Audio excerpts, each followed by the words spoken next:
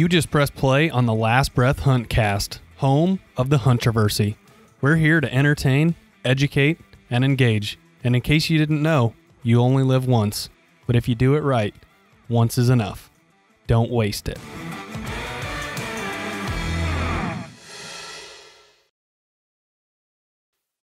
Good morning. Welcome, one. Welcome, all, to episode number 113 of the Last Breath Huntcast presented by Badlands Gear. I'll be your host this morning, Grant Putnam, and I have one heck of a guest coming on today. Sam Ubl from the Chase Nation is going to be joining me really here shortly. I consider Sam to be one of the top digital producers in the outdoor television, outdoor media space. He's got a great eye, got a great team of guys behind him. They kill good quality bucks with good quality storylines, and I'm just a big fan of Sam's work. Um, like I said earlier in episode number 112, when I talked to Alex Nadolski from the Rise Hunt, I really think the Rise Hunt, Chase Nation, and Midwest Whitetail are top a top three levels of production storytelling in the digital space. Um, not saying that other traditional television markets aren't great. I love watching the crush crush big bucks too. I love watching Pat Nicole, the boys from Heartland Bowhunter, but I'm just specifically talking about the digital space here. I think Chase Nation, The Rise, and Midwest Whitetail just do an absolutely stellar job with everything that they do, produce and put out. So before I give Sam a call, got to pay a few bills here. If you're interested in anything related to Badlands, site wide, we have a discount for 30% off of any piece of gear you'd like to buy. Whether you'd like to get into a bino harness, a new pair of jackets, bibs, etc., uh, tops, bottoms, hats, beanies, gaiters, gloves, uh, gaiters for your feet as well. Um, I know that when I talk about gaiters, I'm talking about a neck gaiter, but they also make gaiters for your boots. You can get that through the Last Breath Inner Circle, which is our Facebook group. We've got a nice code for all of the people that are part of that community, uh, and that's about 30% off. So, this podcast would also not be possible without the help of Outdoor Edge knives and cutlery. So, from everything from gut hooks to replaceable blade utility knives, fillet knives, anything that you would like to add to your cutlery arsenal. If you're interested in breaking a buck down from the field to the freezer, you can do that with their lineup. Underwarmer the third partner of our podcast here. They're a heated base layer system that you simply open, air activate, and you've got four large heating pads on the front, four large heating pads on the back. And the coolest thing about Underwarmer is they can reduce the amount of base layers you have to wear, and they're extremely economical. Um, last winter, I bought a couple for $8 at your local Walmart, and uh, I think that's really going to help you guys out, especially those of you that are going to be going out into those temperature ranges that are below 10 degrees. The fourth member hopping on is Moultrie Mobile, uh, specifically the new Moultrie Delta Cam. It's uh, Moultrie's new cell cam that they just launched about two months ago uh, in the summer of 2021. We have 32 of them running as a team right now. They're giving us some great picture quality, great inventory, great data. And I know that when October and November come around, they're really going to help us pinpoint and uh, know when to really solidify and make that move on these bucks that we're trying to trying to take out of the field. So, without further ado, we're going to go ahead and give the man of the hour, Mr. Sam Ubl of the Chase Nation, a call. Pick his brain, learn about who he is, and just discuss about Chase Nation. Learn some of the things that Sam does, and uh, really just pick his brain as a master editor, producer, and uh, anything of the like. So here we go.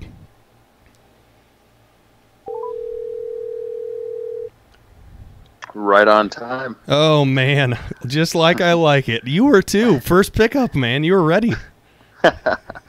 yeah, well, the work-life balance with kids, um, you tend to find yourself, you know, kind of paying more attention to these sorts of things uh, than maybe prior to children because um, you only get so many minutes. You know what I mean? Yeah, absolutely. And uh, before we talk about your family and your kids, go ahead and introduce yourself. Um, I certainly don't need an introduction from you, but everybody that's listening does. And I think that they should definitely know you if they do not already, because like I mentioned before I called you here, you come out with some beautiful production, some top notch stuff, and got a really exciting project in the works, which maybe we'll unveil here. Um, yeah. Maybe not. Maybe we could just talk about it. But um, yeah, give the listeners a brief introduction of who you are, what you do, and all about your baby that you created called Chase Nation, Sam. Oh, thanks. I appreciate the introduction. Yep. So my name is Sam Ubl. Um, I have been uh, an outdoor rider for, gosh, uh, two decades now, and uh, since I was real young, and um, that kind of opened a lot of doors to me and, and, gave me some opportunities to meet some folks that brought me onto their uh, television shows and, and DVD series and uh, and I, from that I had also dabbled with cameras for quite a bit um, just from watching outdoor television and uh, that's kind of how I got my feet wet you know that and um, and and and also my dad always asking me what I wanted to be when I grew up and I always said I wanted to be a professional fisherman or a professional hunter. Hell um, yeah, that's like a good good I response. Yeah, you know, and and and and he always told me to follow my dreams, but recommended uh, as a side hustle. Maybe you should think about since you love hunting and fishing so much, being a fireman. You get the three, uh, what is it, four on, three off, or three yeah. on, four off, something like that. Yep. And uh, you know, um, anyway, so uh, in 2016. Um, I had uh, filmed uh, another season and and produced all the content for Wisconsin Whitetail Pursuit for the second year in a row, mm-hmm. and um, I just sort of felt like you know what, I've got such a passion for doing this and been doing it pro bono for you know others. Why not why not start my own my own show?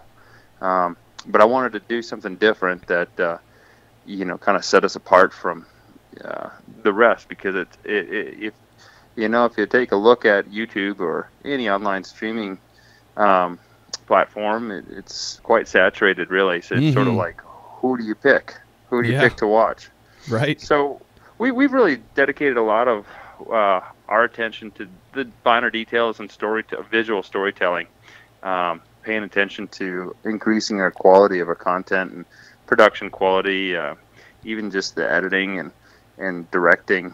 Uh, it's it's unscripted 95%, but I do like to put together intros before some of the uh, films, mm-hmm. uh, just to suck in the viewer. And um, and you know those aren't necessarily scripted; they are directed. I, I, usually just have an idea in my head, and then we just sort of uh, put it together as we go. It ends up being pretty cool. So so that's a little bit about me and and who I am. And Chase Nation is my baby, yeah. Been we're in our fifth season right now, um, and uh, I guess you could say we're we're kind of in that underground uh, uh, outdoor filmmaking uh, category, much to the likes of uh, Last Breath and The Breaking Point, and a few others that are, you know, in our category.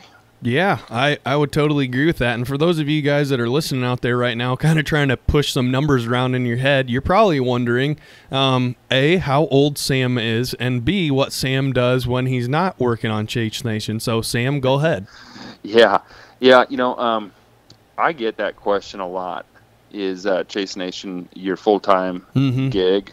And I would always say, you know, no, it's a moonlight profession. But if I actually look at yeah. the hours invested I wouldn't say it's necessarily 40 hours a week, mm-hmm. but there are times where it pushes, you know, into the neighborhood of 25 to 30 hours in a week. Um, sometimes we might hit 40 in a week, you know, under the stars, but yeah, um, you know, it, it, it, it, really is a moonlight profession. Uh, it simply does not earn enough uh, to leave my day job. Uh, mm-hmm. I am a uh, I, I work in the IT, IT department. I'm a data warehouse developer and BI specialist. So I'm, I'm the I'm the data geek that builds data warehouses and business intelligence or BI reports. You know, automated dashboards and whatnot.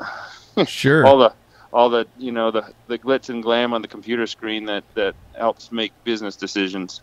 Yeah, that that's uh that's interesting. I did not know that that uh, that that was exactly what you did. I knew you were something related to computers, but I did not know that you were in kind of that systems and software management um, field. Yeah. So so that's pretty interesting. It kind of paves the way. I'm sure there's you know quite a quite a few people out there that are thinking, you know, how did how the hell did Sam learn how to put together, you know, this this thing that he's doing right now called Chase Nation?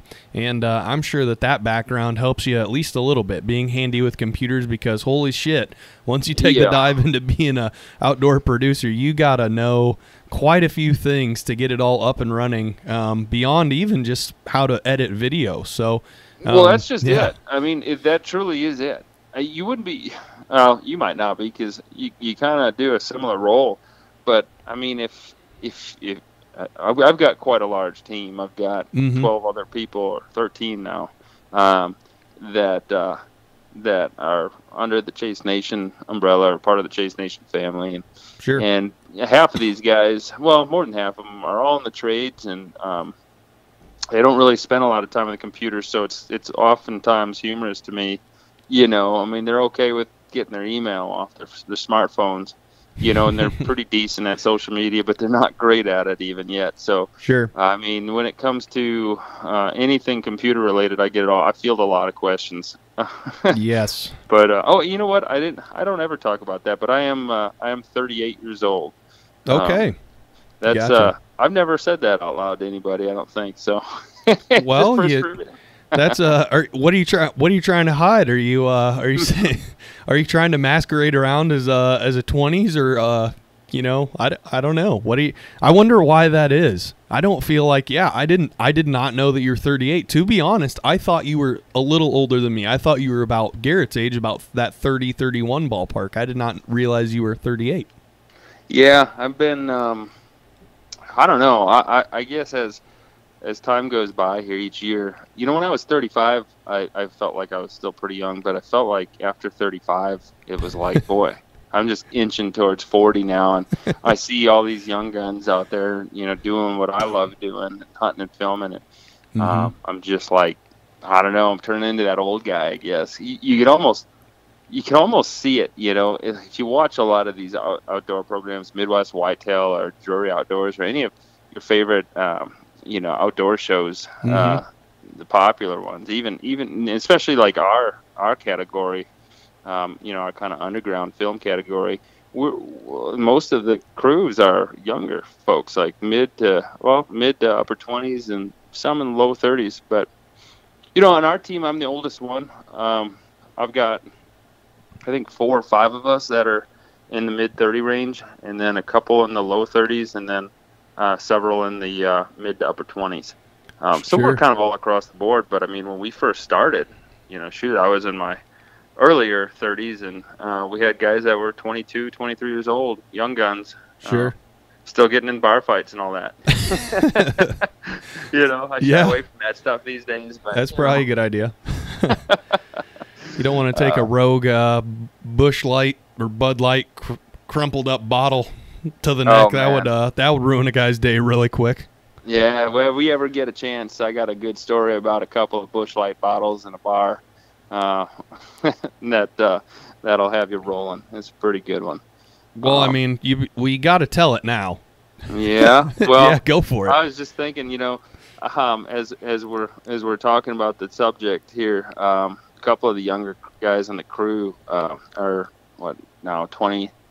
I want to say 26, 27 maybe. Um, but you know, one of these guys, uh, he just he's just got this history of uh, getting himself into situations out at taverns when he's not even looking for a fight, and he it probably is because of his uh, you know his stature. He's a he's a bigger guy. He's got pretty big muscles, and you know I think um, other guys in the bar that you know uh, think that they're beefy or whatever, and they're the same age group and testosterone driven right. um, tend to move in on that guy and and and get into the wrong place at the wrong time. And I mean that because Nate is the guy. And Nate Nate's last fight that I know of at a bar um, it was like a year and a half ago or something. He he didn't he, he didn't start it but he kind of finished it. He ended up breaking his fist.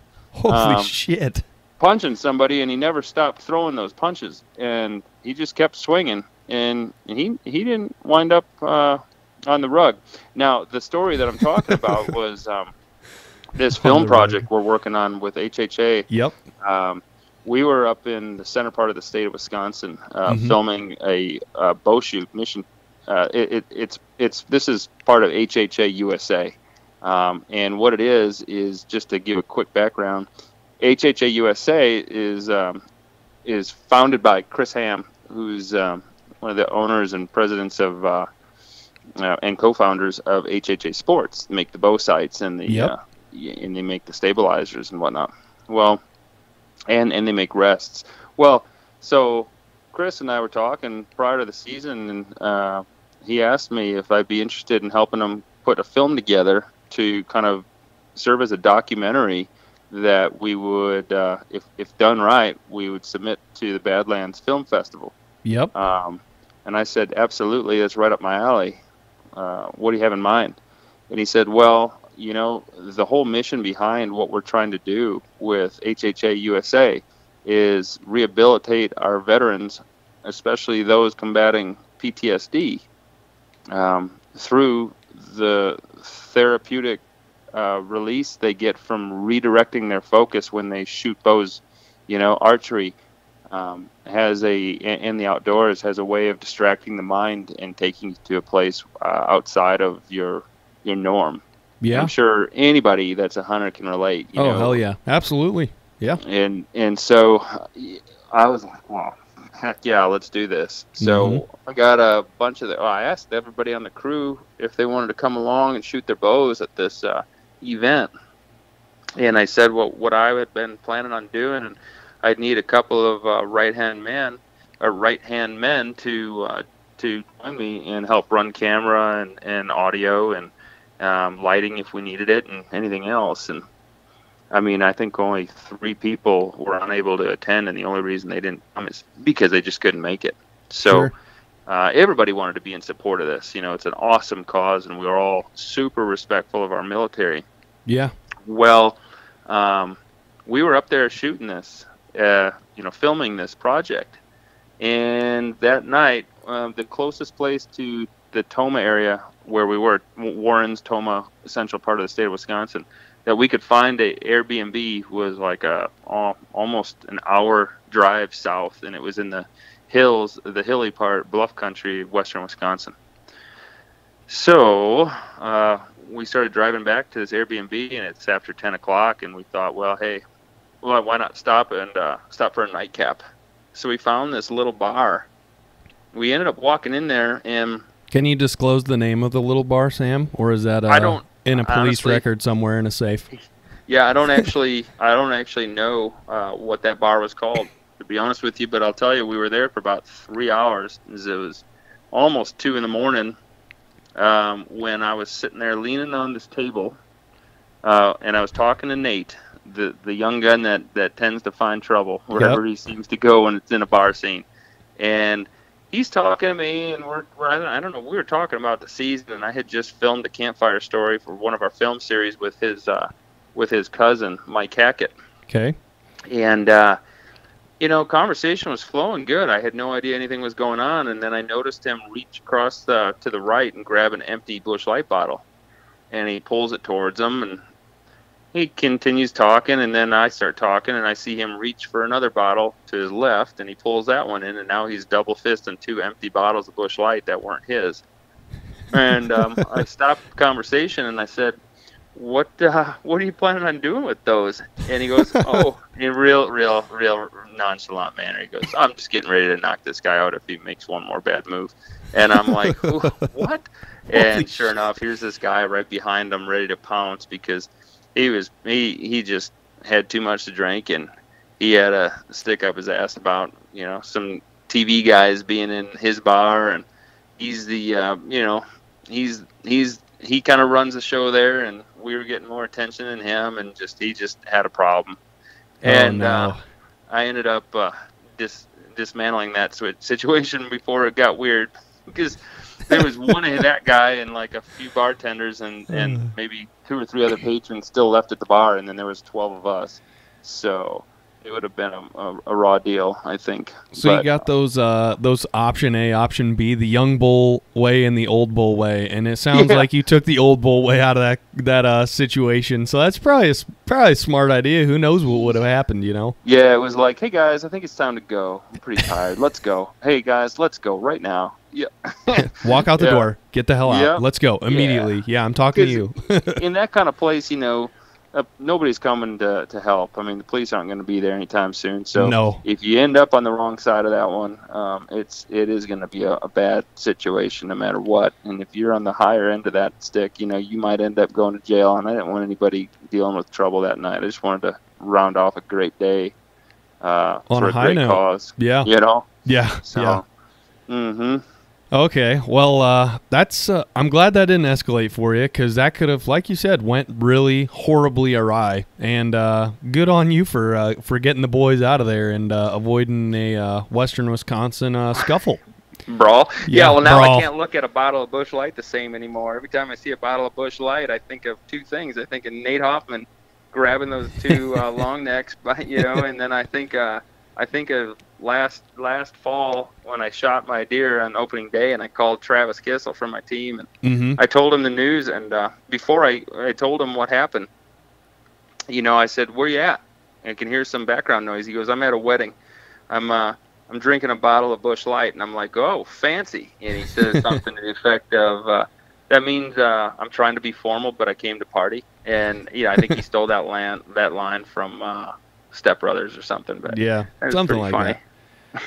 Jeez. Well, you, uh, I would say, avoided a pretty hairy situation there with that. So Oh yeah. good on you. And uh, kind of now pivoting back to your project that you're going to be submitting to the Badlands Film Festival, and that kind of opens up the conversation to the some of the questions I have for you here. Um, if you had to explain your angle, um, I know it's hard to pigeonhole yourself into, and it's it's kind of difficult. I feel for any producer to do because there's it's so multifaceted. There's so many Sure. aspects that you're trying to film, lay down. Um, but if somebody was to view Chase Nation for the very first time, what could they expect to watch? What's what's the angle of Chase Nation?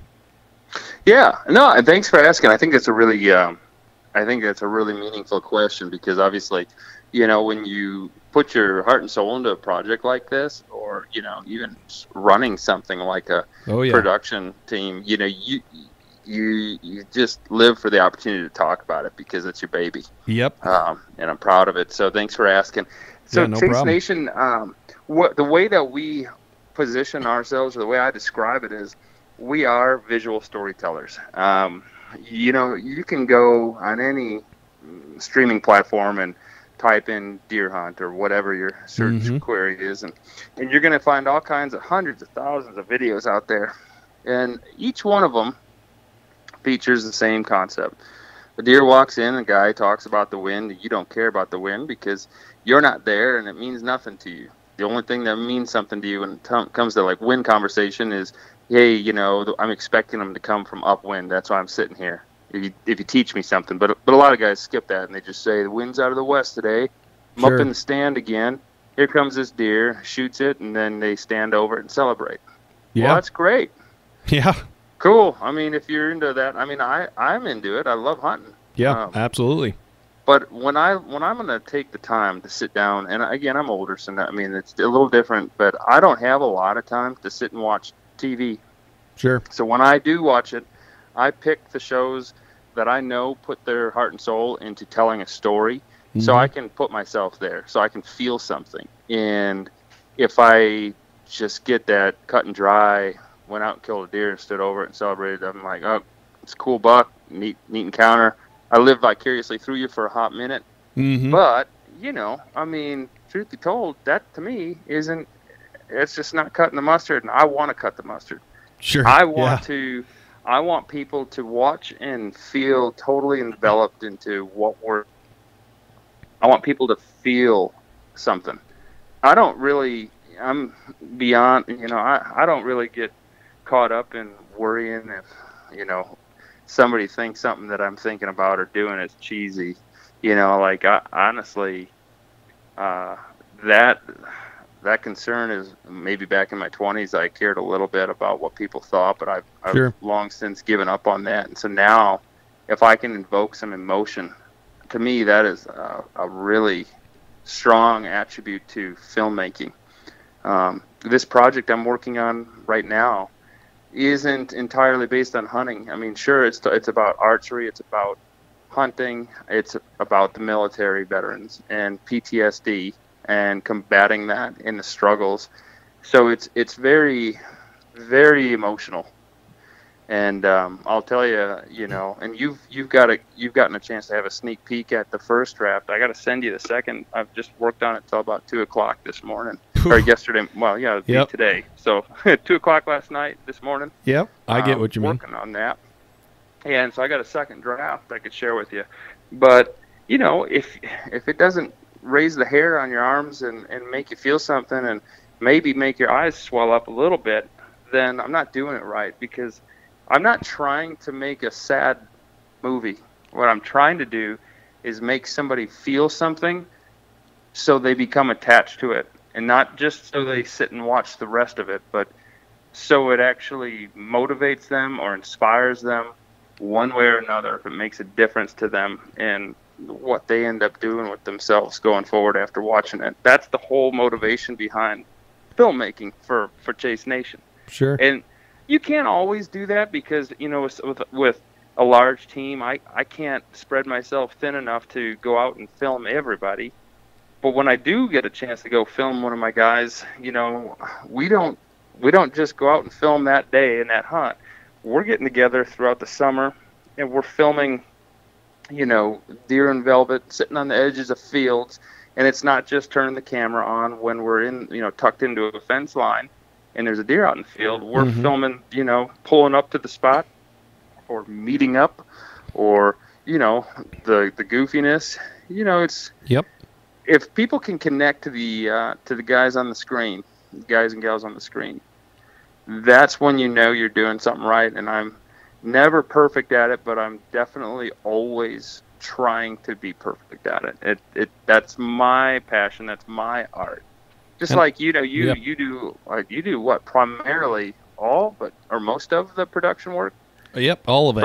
Yeah, you do all of it, so you understand. Yep, it's uh, know. it's tricky. It's uh, it's an interesting beast to try to evoke emotion. Like you said, some some deer hunts, there's just uh, there's not enough there to draw right. that emotion out. But I feel like when I watched your first draft of the HHA documentary, I definitely felt that, and I think personally um, I I kind of go through my mind every year about all right, what what what could it take to get another film into the Badlands Film Festival? What could it take to podium a film? And I, I just come out with three or four main things. I think emotion is the pillar um, of those qualities, which is cool that you said that. I think you've got to have a very strong storyline. Um, cinematography, I'm I'm actually saying is maybe the the last um, you know, we're not saying I'm to go out there and throw a film together with a handy cam or something like that, but I, I would say that uh, I've seen some less less produced shows do the best in the Badlands Film Festival over the course of uh, the last six shows that I've attended there. Um, and then quality the, is is yeah. paramount. I mean, yep. Emo- invoking emotion and and producing something with substantial quality is paramount. Mm-hmm. And I mean, there's it's gotten to the point now where, you know, unfortunately, um, and it's not to it's not to be a jerk in any which way to you know my crew, but if if the quality's not there, I just can't. I'm just it, I can't justify taking too much time to produce it. I just can't anymore. When we sure. first started, um, I basically was like, well, we're going to be a semi-live show. We're going to produce some seriously cool uh, stories here. I want you to run your camera as much as possible because you can always edit stuff out, but you can't get stuff back that you didn't capture on film. Bingo. and and so these guys, you know, some of them took me seriously and ran it a lot. Some some you know nodded their head when you'd say it to them, but then they wouldn't necessarily always run the camera all the time. And sure. And and to be honest with you, those are the guys that after you know produce what they gave me, wouldn't necessarily be overly excited about the the, the finished product, product. Yeah. Mm-hmm. And I, I finally got to a point where it's like, guys, yeah, here's how I operate. You know, I work all day long, every day, and then I come home. I've got two little kids, and I got to do dad stuff. And I got to mow the lawn, and I got to balance work and life and family.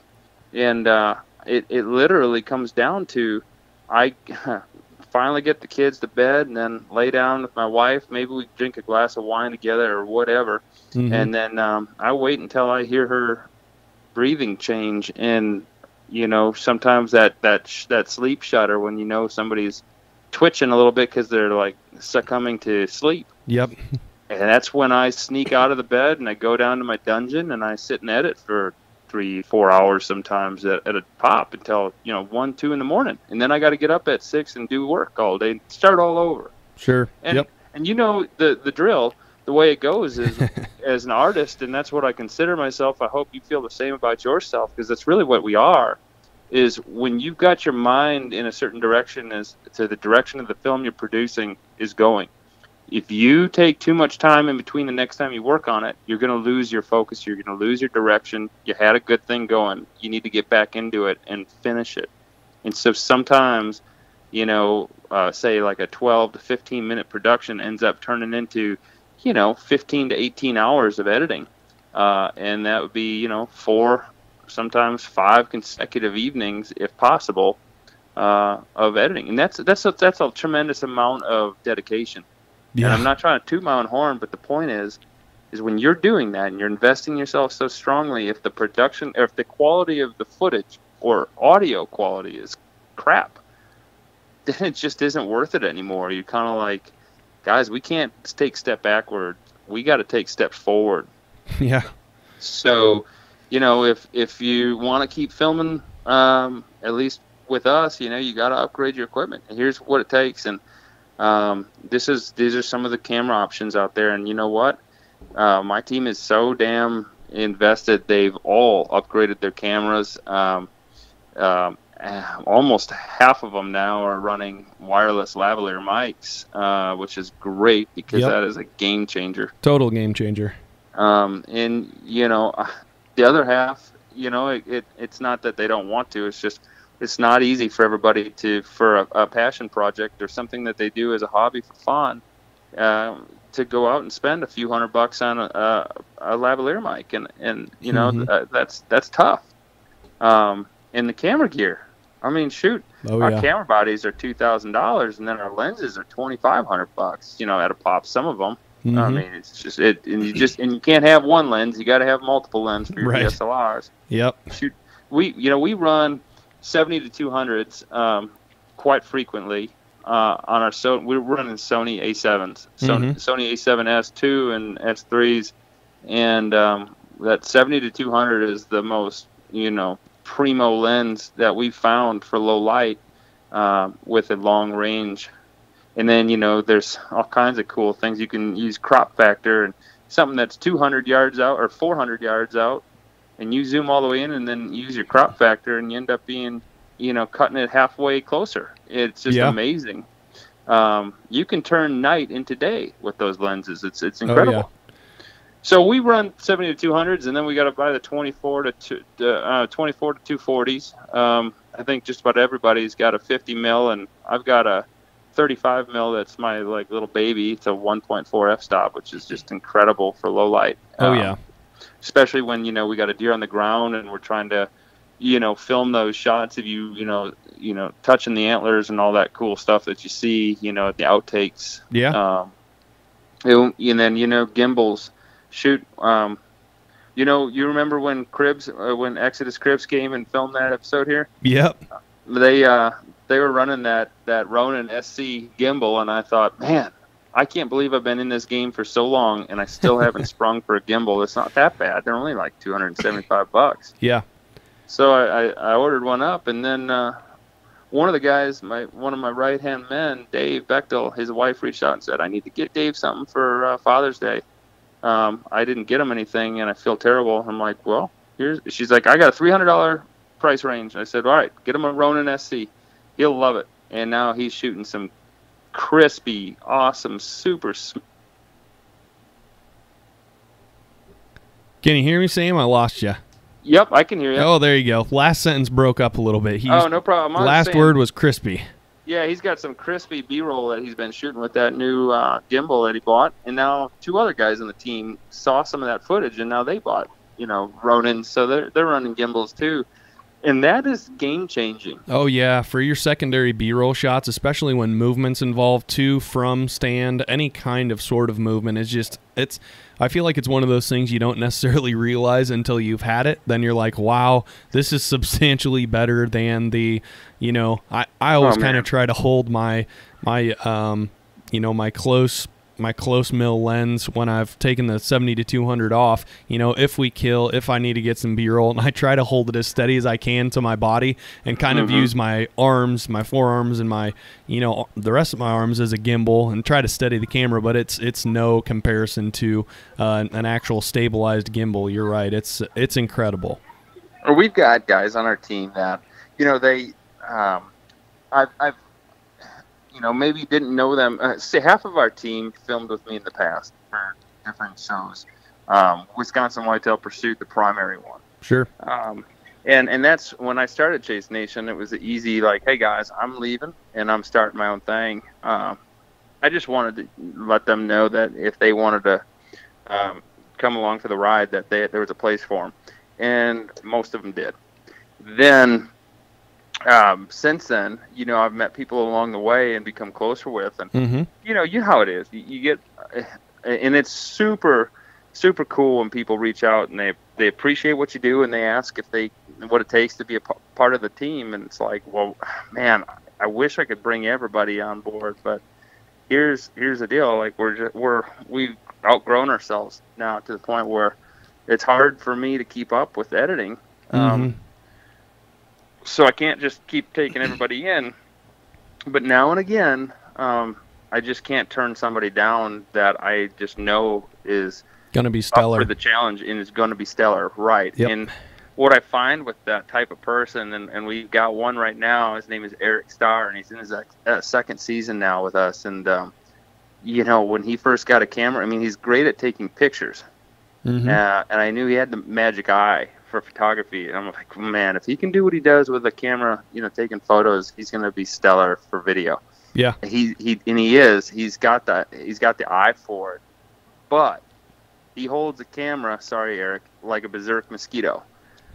and I just you, you get seasick trying to watch that stuff, you know. And I'm like, I can't. I can't use some of this. You gotta we gotta figure this out. So going back to what you're saying about hold, tucking your arms in tight to your body to hold yourself steady, that's the kind of you know attention to detail that I'm always professing to these guys. Like guys, do whatever you can to hold that camera steady. Mhm. Uh, some of the other tips we talk about is like let's minimize how much we're panning. You know, rule of thirds. If that deer is walking from right to left, put him on the right side of the screen and let him walk through, or keep them on the right side if you're going to pan.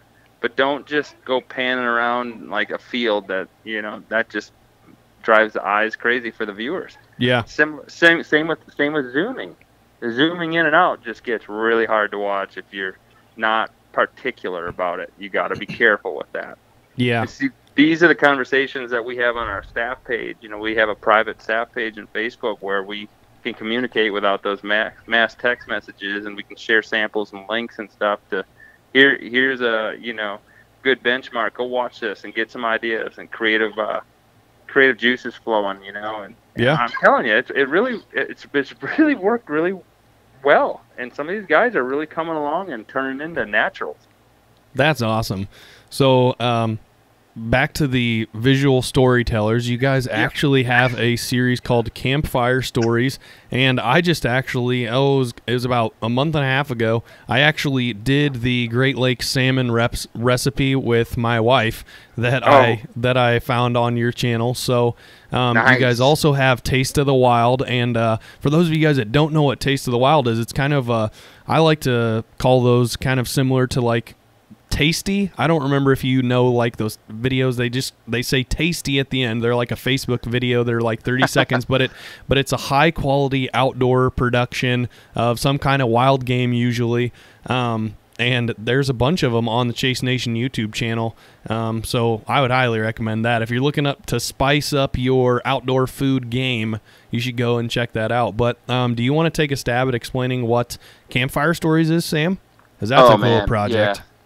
That project uh, is, I believe, almost in a sense, a better format um, for telling the story behind a hunt than just the raw footage, you know, put together. Um, it, it, and, and the reason is because the, for anybody that hasn't watched what Campfire Stories is, if you if you end up watching that series, and, and I'm already filming uh, season two um, right now. We we filmed season one in some of the harshest winter conditions the Upper Midwest has to offer. Yes, you Uh, did. it was it was brutal. I mean, negative 25 wind chill. Oh, just and some of those scenes were brutal. But but anyways, um, the point is when you have a team of guys that go out and they hunt and they film and this is their love, you know, this is their life and passion and they capture as much as they can and then they send you their footage and or you collect their footage from them and you then Mm-hmm. it's all unscripted and, and you as an editor producer you need to figure out a storyline uh, to put their footage together in a, in a way that's chronological it's truthful and makes sense and keeps people interested with the storyline that's a challenge in itself even when you do your best job at it where the hunter says boy i, I can't believe how good that turned out that, that turned out awesome better than i thought it would Mm-hmm. um, there's still pieces that are missing. And those pieces are the little details that weren't caught on film. You also don't have the hunter telling their side of the story. This is my version of their story. They gave me their footage, I produced it. It's what you see is what happened, but the emotions that they were that they were feeling, you know, leading up to the hunt or during the hunt or some of the breakdowns in the planning. Um, and the challenges that they faced or you know obstacles or you know all the little details this is their chance to take seven minutes uh, to tell their story from start to finish and we overlay uh, you know we're, we're filming them you know sitting around a campfire or around a bonfire you know uh, a fireplace or wood burning stove or Mhm. whatever we've got available to us and and you know they pour a glass of whiskey or open a beer or crack a Pepsi or whatever, some iced tea, and they tell their story. And we film that in a very cinematic fashion, and then we overlay clips from you know the hunt itself and leading up to uh, just B-roll clips that are all truistic to the actual story. Um, and in seven minutes, you get a lot more. I feel like than you do from a 15 or 12 or whatever minute episode. I really do, um, because it just it just I don't know. It just hits the mark.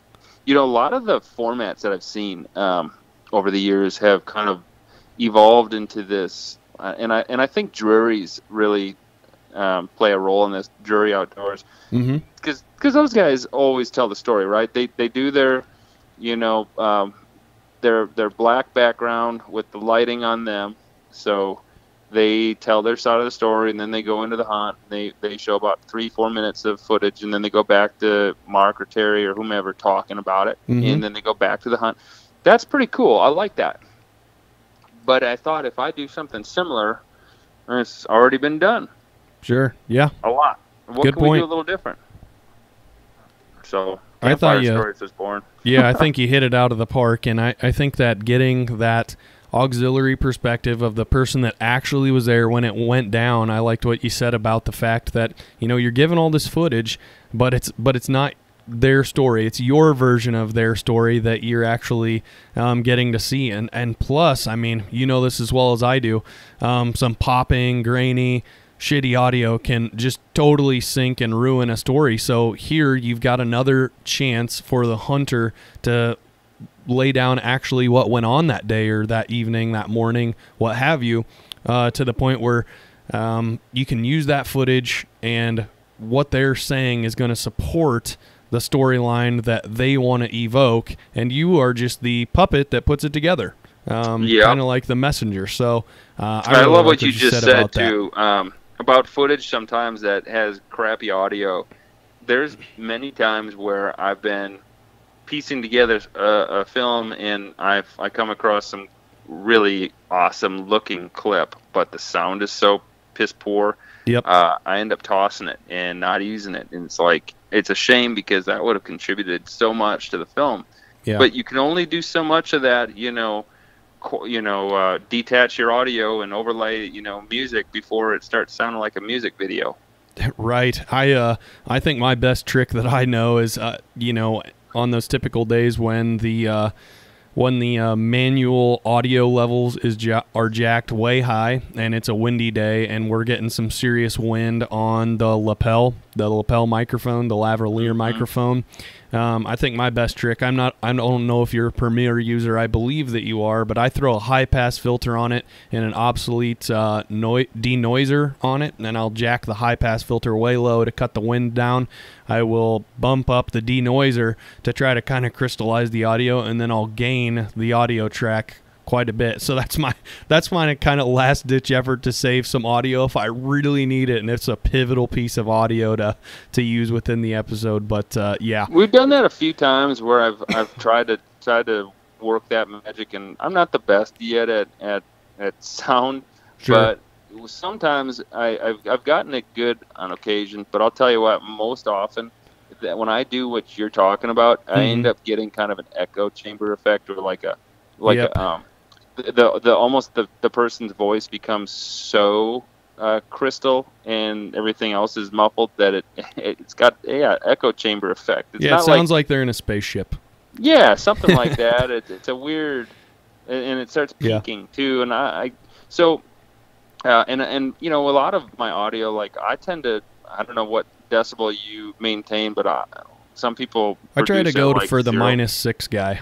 I'm a minus six guy too. I'm exactly a minus six. It's so funny you said that. Yep. I'm a, I'm a minus six guy, and a lot of my background music's usually like Minus 22. to, to minus to minus uh, 18, um, Sure. depending on if somebody's talking or or not. Um, because otherwise, the music when you watch it on different mediums or listen to it on different mediums, Mhm. sounds great on your phone, but on a TV with surround, it's you know overwhelming, or you know what I mean. Yeah, totally know Uh, what you mean. Yeah. But but but yeah, going back to the clips where you know audio is just crap. Um, sometimes when they don't make the cut, I, I really feel crappy about it. Yeah. But I never forget it. And oftentimes we'll we'll notate that. I'll I'll put a little red star. You know, I use Mac. I don't know what you're editing with, but Yep. um, I'll, I'll I'll mark that, and then I'll I'll write a little note, a description to it, and then I'll go back to some of those during those campfire story productions, and I'll grab those clips that deserved a, a, a chance in the limelight. And luckily, with campfire stories, I don't really use a lot of audio from those clips that I Mhm. overlay. Sure. I mean, I just layer on top some some detached audio clips, and and they end up awesome. Yeah. it's a perfect place to use them. And those are also, uh, you know, what's pretty neat about campfire stories is if you've watched the hunt, you've watched the film for the hunt that the story is being told about. Yep. It's kind of neat because if you watch one of those campfire stories, oftentimes you end up seeing clips that you never saw before because they weren't part of the main film.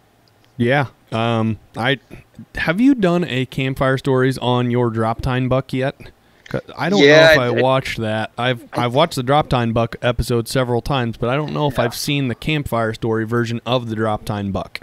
Yeah, I did that. Uh, I think that was the third one, um, and I uh, that was brutal cold. We what we did, um, and it's it's you know just to put into perspective because one of the things that I really love about doing these is no one ever really knows where the hell we are.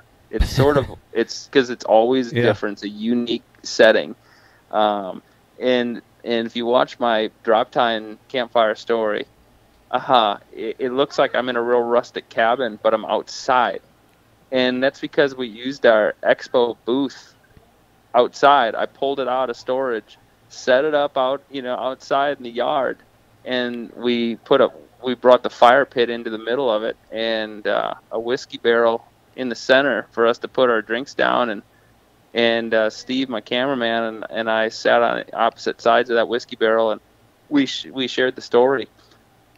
I- I favorite line in that whole episode, by the way, uh, from my opinion, is right after you shoot him.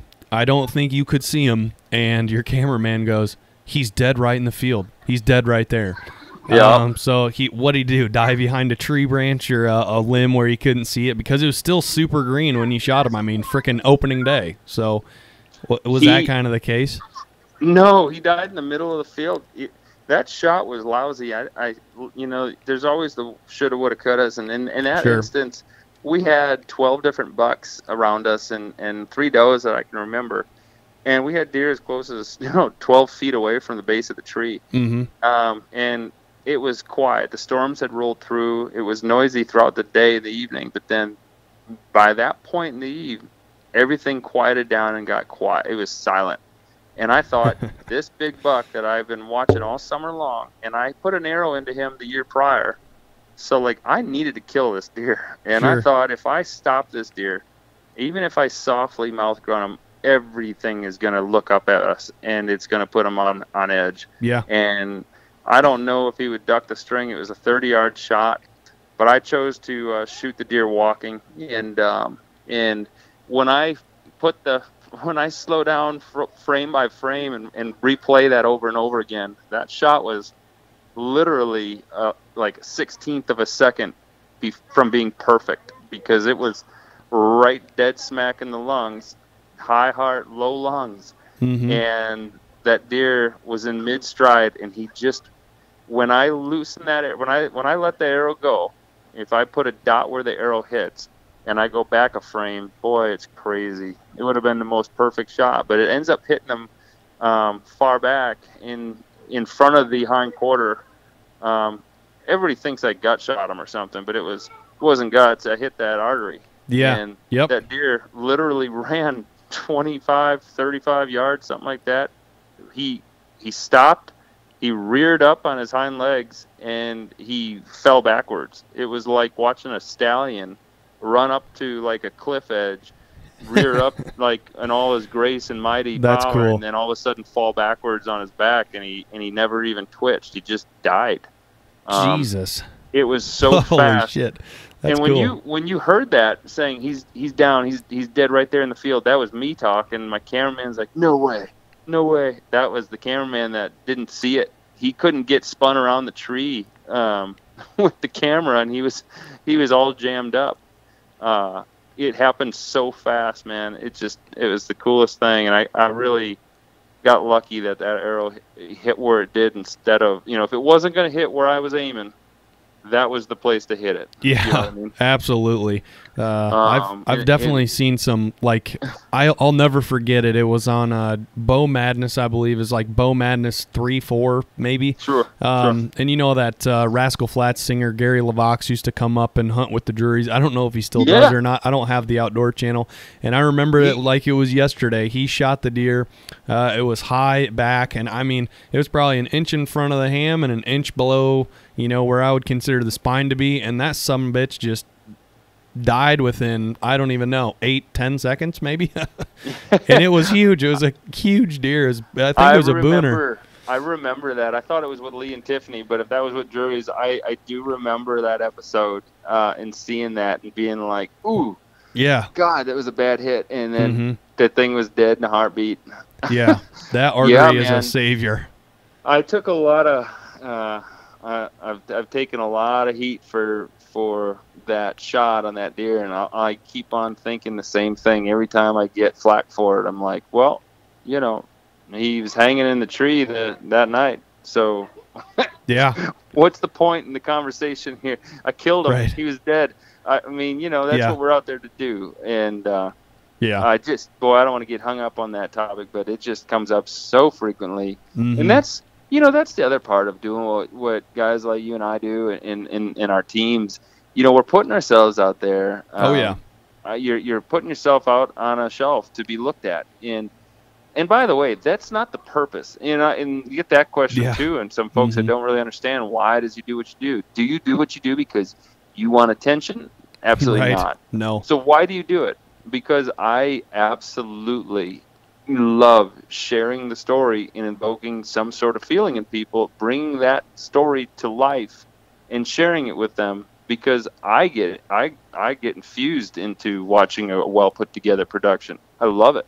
I love yep, like vicariously living through that experience and I like to share that experience that I have with others and that's just that's just it and that and I love the artisticness of, of building films and filming in general and editing um, you know so so that's why I do it but you know, I took so much flack for it, and and we for that shot on that deer, and it's like, well, you know, you kind of ask for it a little bit. You got to develop this thick skin to Mhm. look past it because all these people that are watching it have to do is to to watch it and enjoy it, and or if they feel like it, criticize it or judge it Yep. and and that's that's fair enough. I mean, I'm not going to judge somebody judging it. That's that's totally cool. I mean, if that's what you want to do, at least you watched it. I'm glad, grateful of that. You sure. Yeah. Um, and I'm and uh, you know, I. I uh, I've gotten praise and criticism for a couple of the episodes that I put together over the years. You know, I, I put together one uh, three years ago where I was just having a heck of a bad season. It was an amazing season for getting in front of big deer Yep. but it was a bad season um, as far as killing deer. Sure. I just, I, uh, I, I did the runaround. You know what that is? I do not know what that is. Okay, the runaround is um, is when you get down from your stand, you break a bunch of branches, you blow on your grunt tube, and you run in a circle around your tree, kicking brush and Oh, okay. making all kinds of racket. You Yeah. run back up that tree as fast as you can, get set, and here it comes. My cameraman Dave Bechtel. Uh, at that time. He, he he's he's he's one of my real close friends, and he, and he runs camera for me a lot, and likewise. And uh, he he and I hadn't filmed a lot together at that point. Um, I think I was filming with Whitetail Adrenaline, and I was working in their booth at Deerfest in uh, West Bend, Wisconsin, uh, several years ago. And Dave Bechtel came up to the booth and he introduced himself and he asked me about public hunting grounds in in our area. Once he found out I'm from Southeast Wisconsin Mm-hmm. because that's where he's from. Find out that we both, uh, you know, trampled the same grounds. So that's when we kind of hit it off, and eventually um, he became part of our team. So here we are filming pretty much for one of the first times together on a on a big hunt. We I just I just got this lease in western part of the state, Wisconsin, south of uh, south of Buffalo County, Okay. and uh, we're in bluff country, and this is the land of the giants Sure. we get up in this tree. We had no idea where we were sitting. I just signed the lease, you know, weeks ago.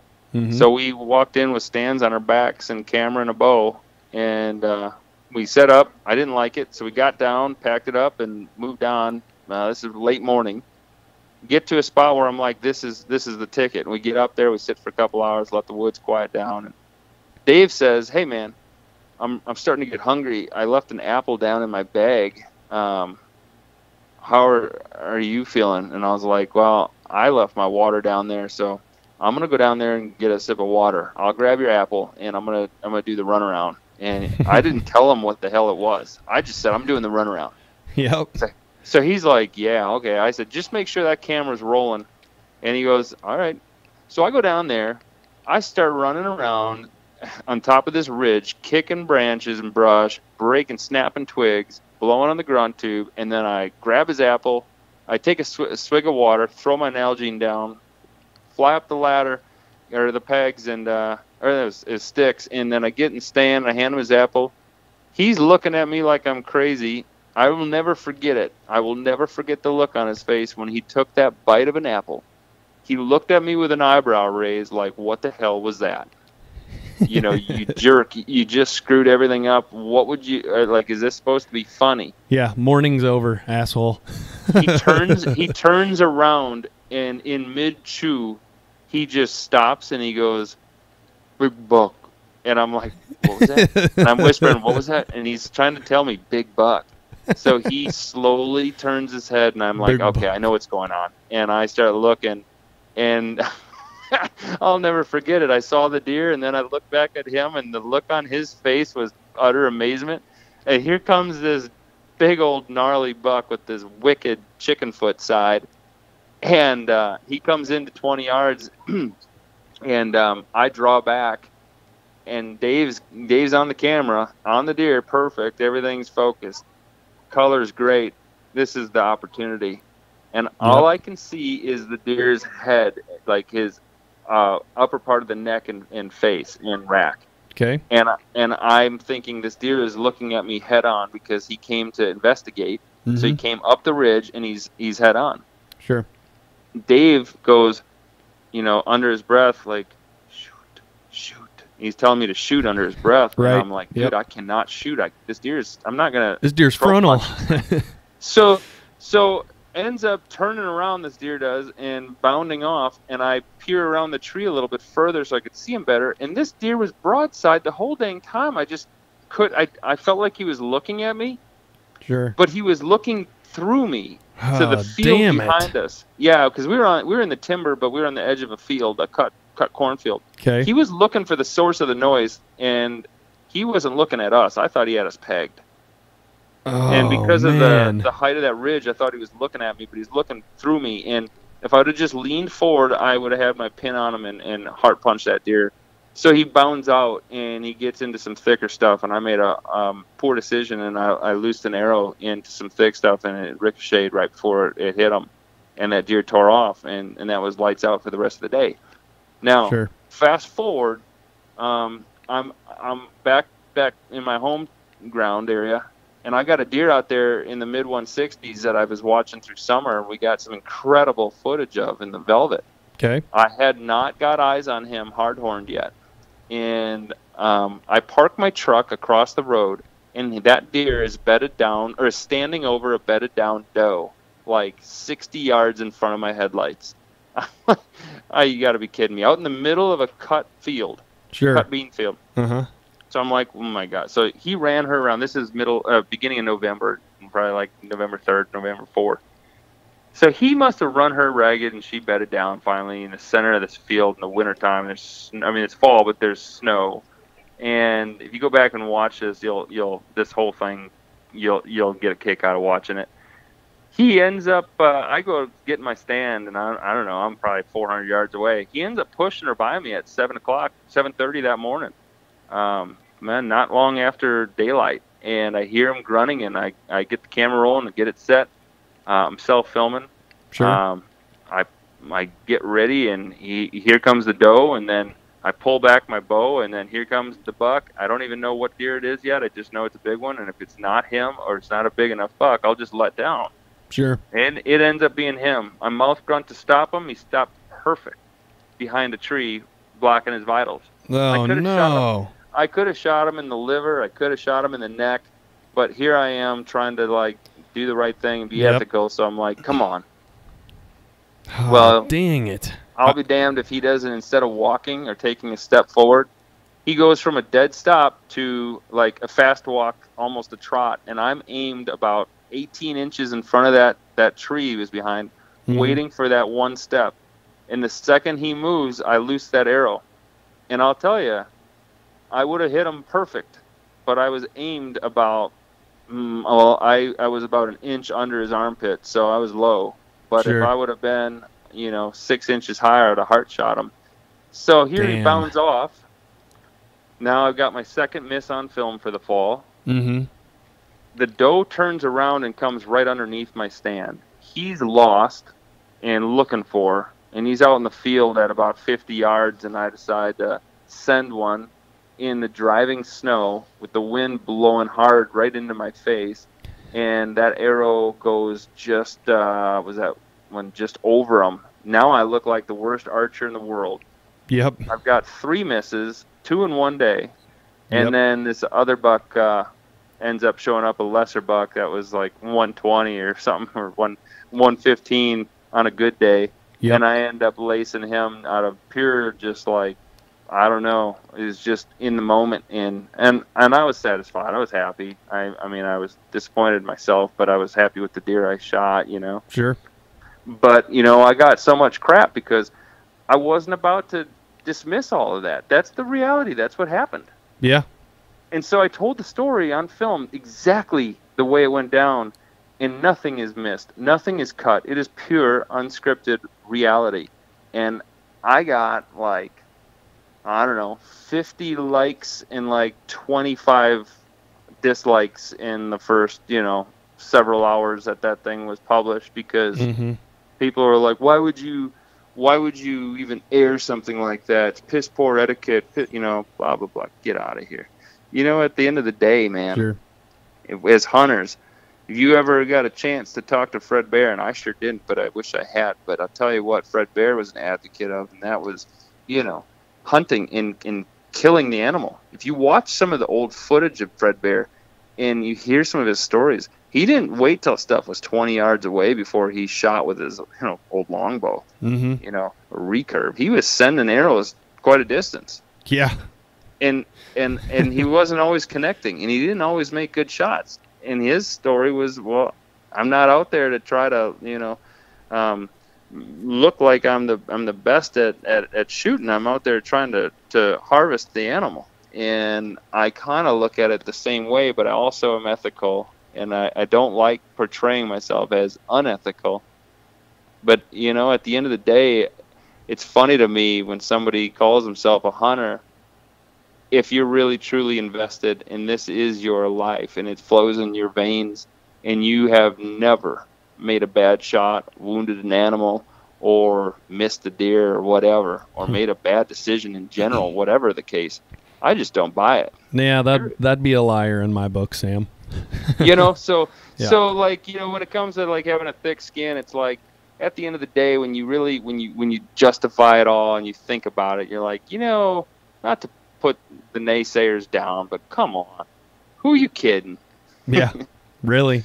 I mean, a hundred percent. I feel like uh, a lot of people they get that uh, faceless human being syndrome when they're behind a keyboard, and uh, you know they don't know you, they don't know you from Adam, they don't know what kind of person, what kind of man you are, what kind of husband, family member, team member, company owner, photographer, etc. They don't really know a whole lot about Sam, but uh, they see the misses, and uh, it's an easy avenue and an easy route to put somebody else down to make themselves feel better. So they go ahead and take their stab in their swing. But uh, yeah, I, I kind of feel the same way. Usually, whenever I see a comment that's like kind of shitty or you know rude or something like that, I'll just I'll just take it down unless I'm having a real bad day. Then I'll uh, then I'll confront the person about it.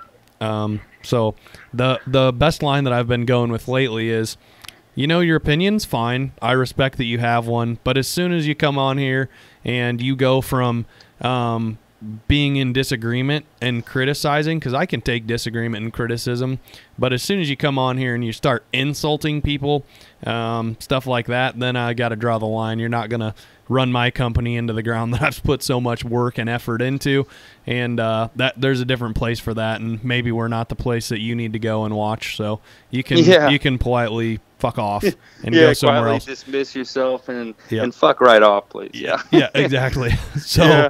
Yeah. uh, like, yep, you know totally what? get it. Totally get it. I don't really, I, I don't really like. So I'm the type that you know when I see the crap, I tend to just scroll past it. Mhm. Honestly, because once you get yourself involved in it, then now you're stooping to that level, and you, now you're going to get sucked into something that's going to be bad press. You know, Sure. people say, you know, no press is bad press, um, but you know, bad press is good press, and. uh and I'm like, well, I mean, kind of, sort of, because I guess sorta. that means people are paying attention and talking about you. Uh-huh. Um, but uh, where where you can, that can get lost in translation is when a fella uh, doesn't agree with something and then gets defensive and, and starts mouthing back off, and then it's like, well, Mhm. shit.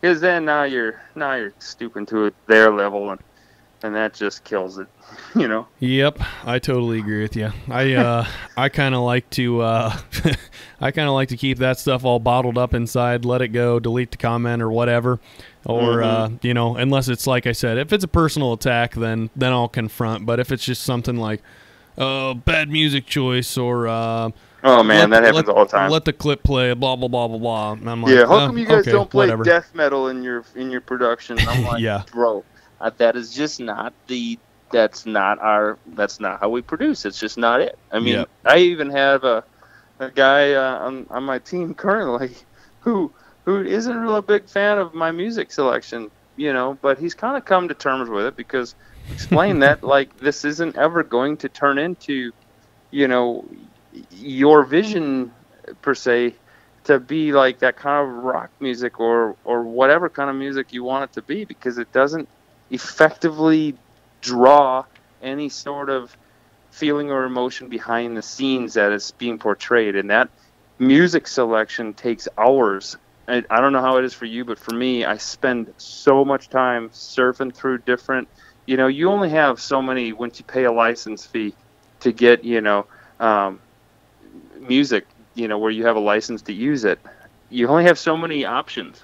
Um, Yep. And, and and that's for whatever. Like I use Soundstripe, and Soundstripe has been, you know, awesome because they they always have new music coming out and uh, so many different genres and so many different ways to filter through their library. Mm-hmm. But it takes forever, and man, uh, it's like if you don't pick the right song, if you have lyrics, if you have any singing or voices in the music, you really got to be damn picky about that because Oh yeah. it just doesn't make sense all the time. It needs to make sense, even if the music eh, like makes you feel like, oh, like I'm embodying like the the the, the, the you know the whole feeling or the whatever behind this film. Mm-hmm. If the if the lyrics aren't right, then Yeah. you just can't use it. And uh, but you know you can't. People are like, why don't you should use uh, this band or this band? It's like, do you think that I'm going to get a response if I reach out to them? How am I going to reach out to their manager? I don't even know where to start there.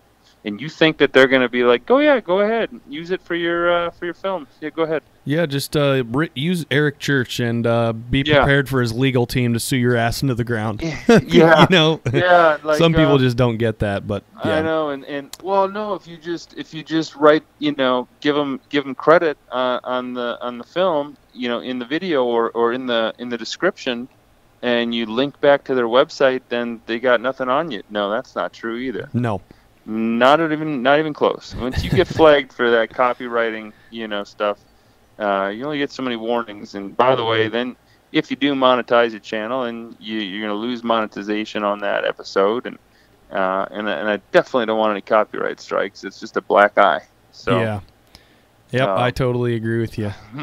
music is a big one for people though, and ah, dude, I mean, come on, we all start somewhere with with editing. Mhm. Me, um, it was a lot of in the beginning. Um, how do I say it? Just crappy audio, I guess, is the perfect place to start. It was not the best quality video. Sure. First of all, there, a lot of it was on handy cams, you know, old Panasonic or Sony or Pioneer uh, handy cams, uh, real old ones.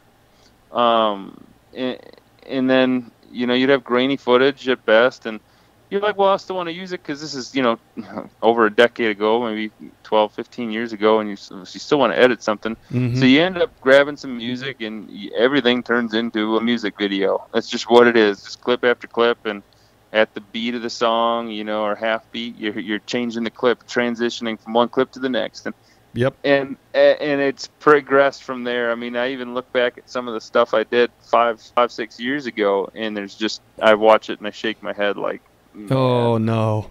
yeah, way too much music, or what was I thinking? You know, but that's why that's how we learn. Yeah. You know, It's trial by fire, man, and lots of the, uh, you know, lots of these uh, YouTube tutorial videos, Google articles, even articles on Adobe for you know user tutorials and things like that that are slightly interactive. It's uh, there's really no substitute for just trial by fire, getting your hands dirty, getting in there and learning everything, you know, kind of from the ground up on your own. And uh, that's a that's a great point. That's exactly the way that I did it as well. I was I was looking back on some of our old stuff that got criticized, you know, in some years past. There's like there's too much music. Get the music out of here. And I was like, yeah, you're probably right. There's probably too much music in here. And uh, so I've really tuned back the amount of music that we're using now. And uh, I feel like I've, I've gotten less and less flack for the music selection and choice.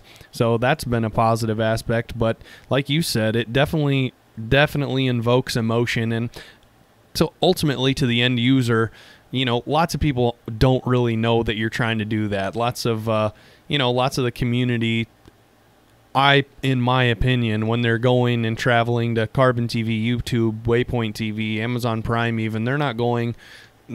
I don't think the majority of people are going to watch a film like your HHA documentary that conveys a deep emotion. They want to see big buck get shot, big buck in hand, big buck in truck, big buck on wall kind of thing. And that's and, and I'm not taking away. There's there's nothing cooler than killing big deer. I'm all in favor of it, but I do feel like those emotional films get overshadowed, and that's why I feel I don't know how you feel about them, but I think RMEF, Um, that is one YouTube channel that I follow hard as hell, and I'm watching their films just religiously.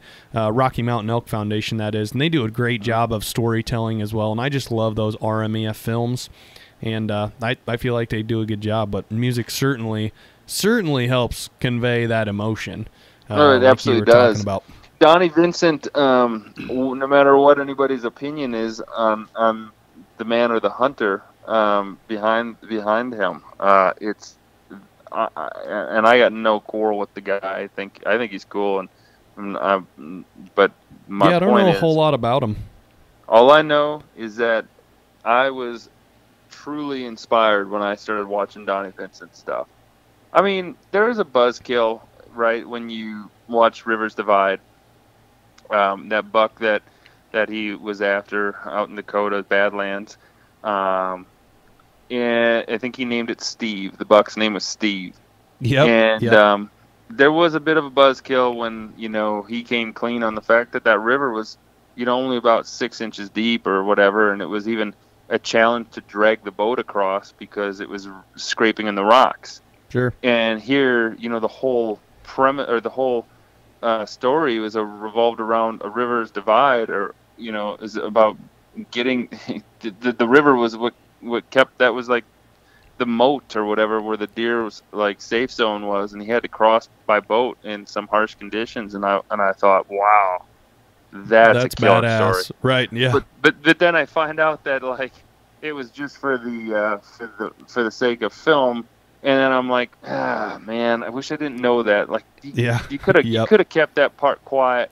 Um, but at the end of the day, even as as I look at some of the stuff that I do direct, like the intros to some of our episodes, which I usually tame down to about like two minutes or so sure. um, you know, I, I personally I, I do very similar stuff sometimes in order to um, get somebody wrapped up into it, and then we go into the actual film itself, the unscripted part. Sure. And so, like, I totally appreciate that, uh, and I can totally understand why he did it.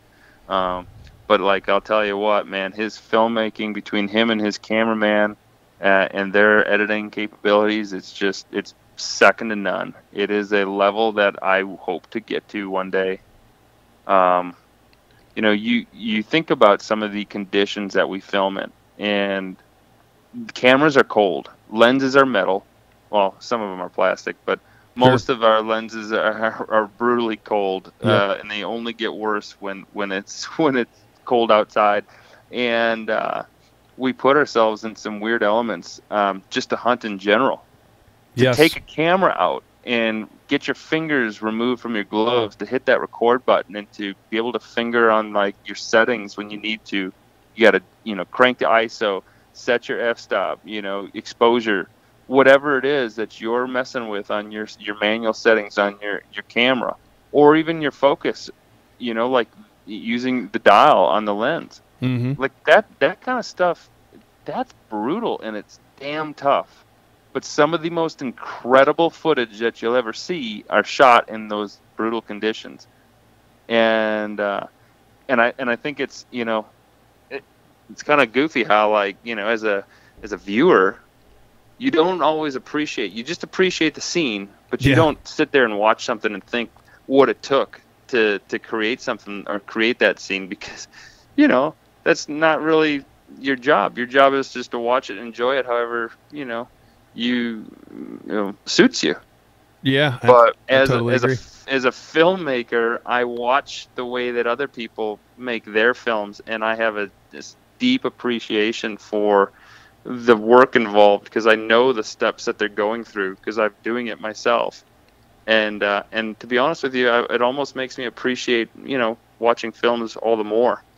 Um, you know, and and and and one one other thought here, just as we're on this topic, is Sure. you know a lot of people have made comments like hey you know you you're for instance we have a large audience on carbon tv a large one on prime um, we get a heck of a lot of views on kotv uh, on roku Mm-hmm. um, but when it comes to youtube uh, we we plunder i feel like we str- it's a steep climb up a very very big hill Sure. um, the numbers go and come and go in waves. You know, we get like fetch a few hundred subscribers in uh, a couple weeks, and then it could slow down to a trickle. And Sure. it's like, man, we we put so much time and effort into this. We got like 120 videos or 140 or I don't even know what on our channel. Everything is produced to the nines as far as what level I had, you know, I was capable of at the time of producing it Mm-hmm. and I compare it to some of the other videos I see out there that are either half-assed or not even edited, don't even have a kill in it, and have fetching 20, 30, 40, 50,000 views in a week's time, Mm-hmm. and they've got like 150 subscribers, and I'm looking at it like, shoot, we we hardly have any subscribers. We have like knocking on the door of 4,000 subscribers on YouTube Sure. and then and, and like our best videos got like 20 or 25,000 views. And I mean, I'm just confused like but so so when I have these conversations, I get a lot of recommendations. And the recommendations from other producers out there with their own shows that are, that are are more successful on YouTube as a platform will say, "Well, you know, that's probably because of the way you're you're putting your content together. I mean, you're not regular. You, you're not consistent on like one or two films uh, a week, Mm-hmm. and and subscribers are looking for that. And you know, you, you, the the length sometimes might contribute. You're not teaching anything. You- You're not trying to make this a learning um, video, which are really really popular right now Sure. and vlogging. You're not vlogging. Like some some productions, like uh, the Hunting Public, is that's a vlog. It's Yep. It's well put together, but it's a vlog, and I love those guys. Don't get me wrong, and I think the content they put together is great. But they're they are as semi live as it gets, pumping out one or two videos a week, Mm-hmm. and some of them 25 minutes long, and they're just filming everything and just putting it together, and, and they're doing it fast and getting it out there. Where I'm taking a lot of time in between each one, and you know, I I just don't want to change our format just to get more views Sure. because that my end game is to you know to to keep us in in the realm that we're uh, that that I've envisioned even if that vision doesn't get as many views on something like YouTube it gets a lot on some other mediums or platforms but Sure.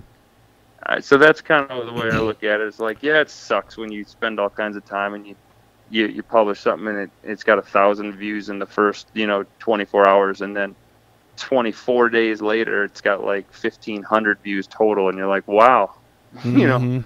like what's that you know it's like slap in the face sometimes but at the end of the day i guess I, i'm i'm reluctant to change because I, I just i want to be different Yeah. Yeah, that's know? a good point, and I I feel like it comes all back to that. Uh, now, will it, what I will say, and I think you and I have had this conversation before, and I think what separates a channel like yourself and uh, you know from a lot of those lesser production quality channels is this: when somebody stumbles upon Chase Nation, they watch it for the first time, they're like, "Wow, didn't know about that. That was awesome." And then they go and they discover an entire library full of things that are up to that standard. You know, seasons that are produced with quality. And then they dive down the rabbit hole and then they become uh, a really big fan of Chase Nations. Whereas I feel like, you know, if you've got your other satellite channels that I like to call them, where you've got one or two videos that are highly ranking for whatever reason, whether the thumbnail was catchy, whether it was just time of year, um, whether they did some work on Google Trends to find out when certain keywords were popular, and more so in the marketing at- back end of YouTube to appeal to the algorithm a little bit better.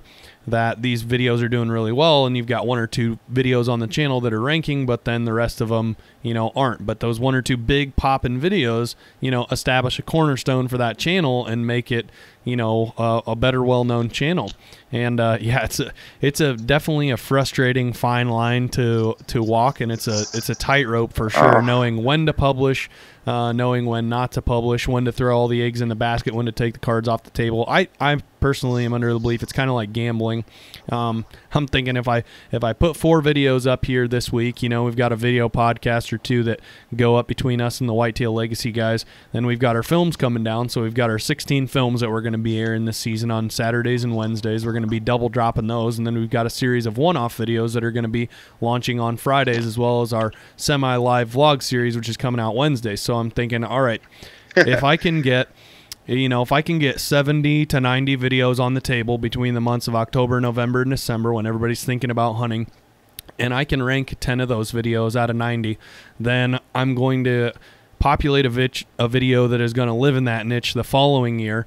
Um, and that's kind of the system that I've been using and adopting, and it's been working pretty well. And we, uh, that first year was pretty brutal. Getting to that a thousand subscriber mark was was pretty tough. But in the first year, we got from zero to a thousand, and then um, last year we in year two we got from about a thousand to like 1350 1400 and then last year we went all gas no brakes and we're at about 57 now but it's it's just a tough it's a tough game and It's a steep climb, brother. yeah, it's a very steep climb, but uh, most of the case studies that I've done say that if you can get to that ten or twelve thousand mark, you can uh, really, really blow the lid off the channel and get it grow- going like a gravy train on biscuit wheels. So, um, well, you know, there's kind of there- trying the to other, get there. The, the other aspect to look at it is okay. So, how? What's the free? I mean, what?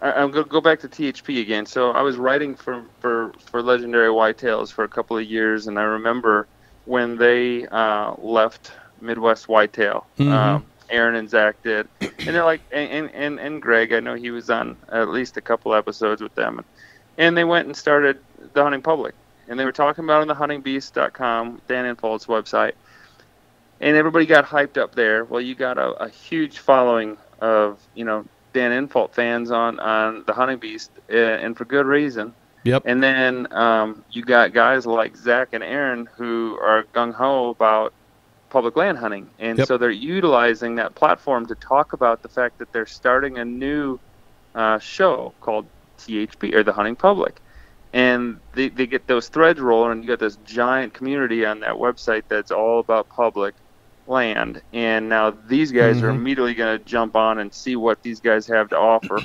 So, um, and then they had the story of the buck nest, and then they go to legendary whitetails, um, and one of the guys that had done some, um, you know, work with uh, with uh, Midwest whitetail um, was like I don't know what you call that, like an intern or whatever. Yep.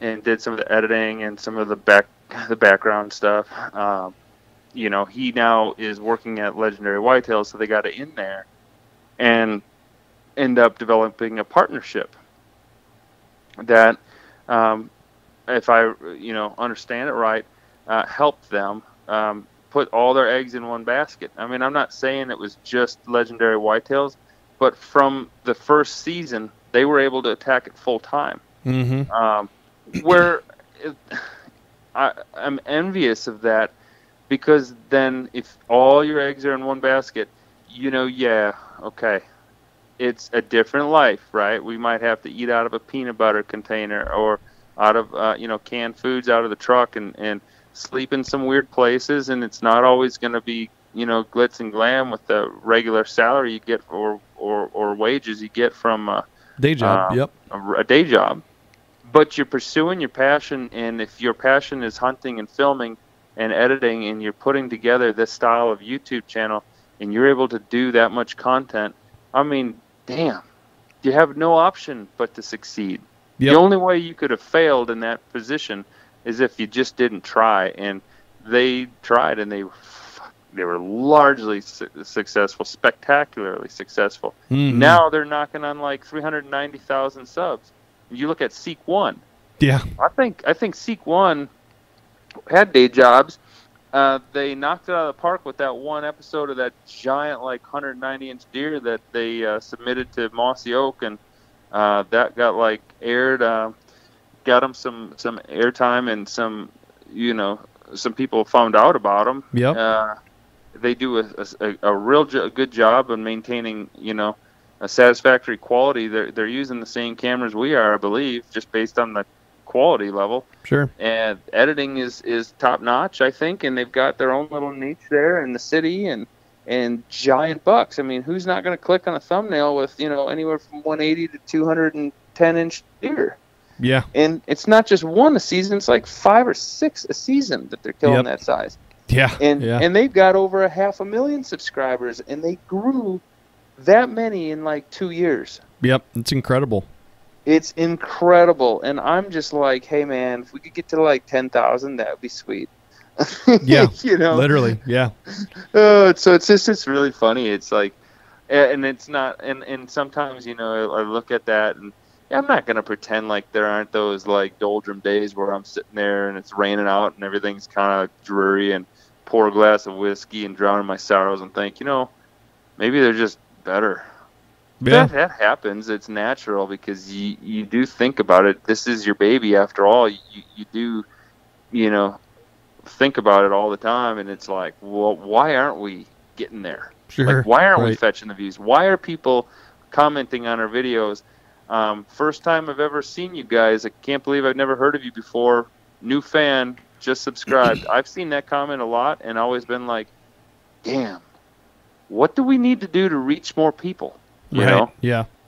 Like, yeah. who can I like pay to advertise to be like, hey, hey, we're out there, we're out there, check us out. Yeah. you know because when somebody sees it then and then they they see the passion behind your production and that's where the value comes from and then they become fans instantly it's like and they always say the same thing it's like well man if i'd have heard of you guys sooner i'd have been a fan a long time ago Yeah. Well shoot i want to i want to meet more people like that Yeah. No kidding. you know Yeah. You're right. uh i don't know i just i know we, we've had this conversation you and i on the phone a couple of times before just uh it's just a the carousel conversation but it's it's a good one It's I a mean, it's fickle. That's for sure. It's uh, It is it's, fickle. It's tricky. it's uh, uh it's uh multi-layered, multifaceted, and can end up being pretty frustrating. I've I've just come to the point where I I'm under the belief that I just don't think that YouTube. I I don't personally think that unless for the value like I was talking about with you guys earlier, where if somebody stumbles upon one of your videos, they're going to really enjoy the rest. I just I believe that there's a lot of subpar YouTube channels out there doing really well just because they are doing everything possible to market and appease the YouTube algorithm, and even if that means they're kicking out, you know, a video that doesn't have a kill and that's 40 minutes long. So I feel like those are, you know, I I think that to get to that level of success, you know, like your hush and seek one hunting public, I, I do feel like there's an element of being a master marketer in that, regardless of the content that you are, you know, producing. So uh, that Yeah. that's that's my that's kind of where I fall and where I think of it. But Well, and I love those conversations with you because you, your intellect on that topic is is pretty strong. I mean, a lot of great ideas, and when it comes to sorting out the algorithm and trying to figure out what it takes to to really hit that mark, that's a challenging topic, and we're always guessing, right? And you Yeah. can go internet research all you want, Google it all day long. You're going to get a bunch of different opinions on how it works. yep, I do know that like um my daughter watches and she's five and she watches YouTube all the time and those kid shows and, hmm and they garner millions of views, hundreds of thousands of likes in the first 24 hours Oh, on yeah. one episode. And it blows my mind, but they're they're doing it full time. They're making millions of dollars. Um, I I just want to say that I think I've made uh, maybe six hundred dollars in five years on YouTube. So Sure. if anybody ever thinks, uh, I'm not Sure. going to subscribe just to make you a bunch of money, that's not the reason we want you to subscribe. We want you to subscribe so you don't miss out on any of the content we produce. yeah, YouTube's not going to ever make us enough money to go buy milk and cereal for our kids and, and put groceries in the fridge and gas in our trucks. It's just not. right, yeah, I mean, not until we get to a level like some of these bigwigs, right? We're, and, Mhm. and that's not likely. So, I just, um, I don't know. I kind of got carried away with what I was talking about there, but I just, man, I like if you could get if you if you published a video and it and it got say 25,000 uh, views in the first 24 hours, and it maintained a 50% retention rate. You know, and which means you know 50% of the people that clicked on it watched at least 50% of the the film Mhm. or the video, and you got like say a thousand likes in that first 24 hours. You would prep that video has a good chance at soaring in Yeah. being at the top of the string when people are you know in the search in the search qu- query um, you know, results. Anyways, you'd be at the top you know the list. Mhm. Um, but That's all about how, how to get there when uh, how to get it served. So Yep, and so I don't know. I don't ever want to like. I don't. I'm not a big fan of the clickbait stuff, and I know, I know that Mhm. it works, but I don't want somebody to ever click on any of our films and then watch it and, and think that was clickbait. The way we put together the thumbnail Right. Yeah. or or the title, I want them to think it was genuine, and that might be because I'm older. I don't know, but I just don't want to succumb to like I'm not trying to. It's not like Facebook, you know, and having, you know, if, hey, or or Instagram. The more followers you get, the more popular you are. Like, come on, dude. If you, I mean, if they're not real, uh, Mhm. what what's it worth? Like, what? Why are people so strung up on how many likes they get, or comments on something, or, or Sure. subscribers? It just means like, hey, man, I've got like 18 hours into this 12 minute video. I just really want you to watch it, and that's about it. you yeah. know? That's about it. I, am not trying to get rich on this stuff. I got a good job. I, I, I do. I just, I just want the, I want people to see it and, and enjoy it. Um, you know, that's pretty much that. Yeah. I I totally agree with you, man.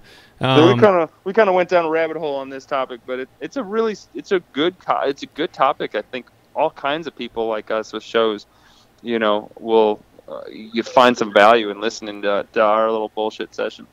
yeah. Um. I.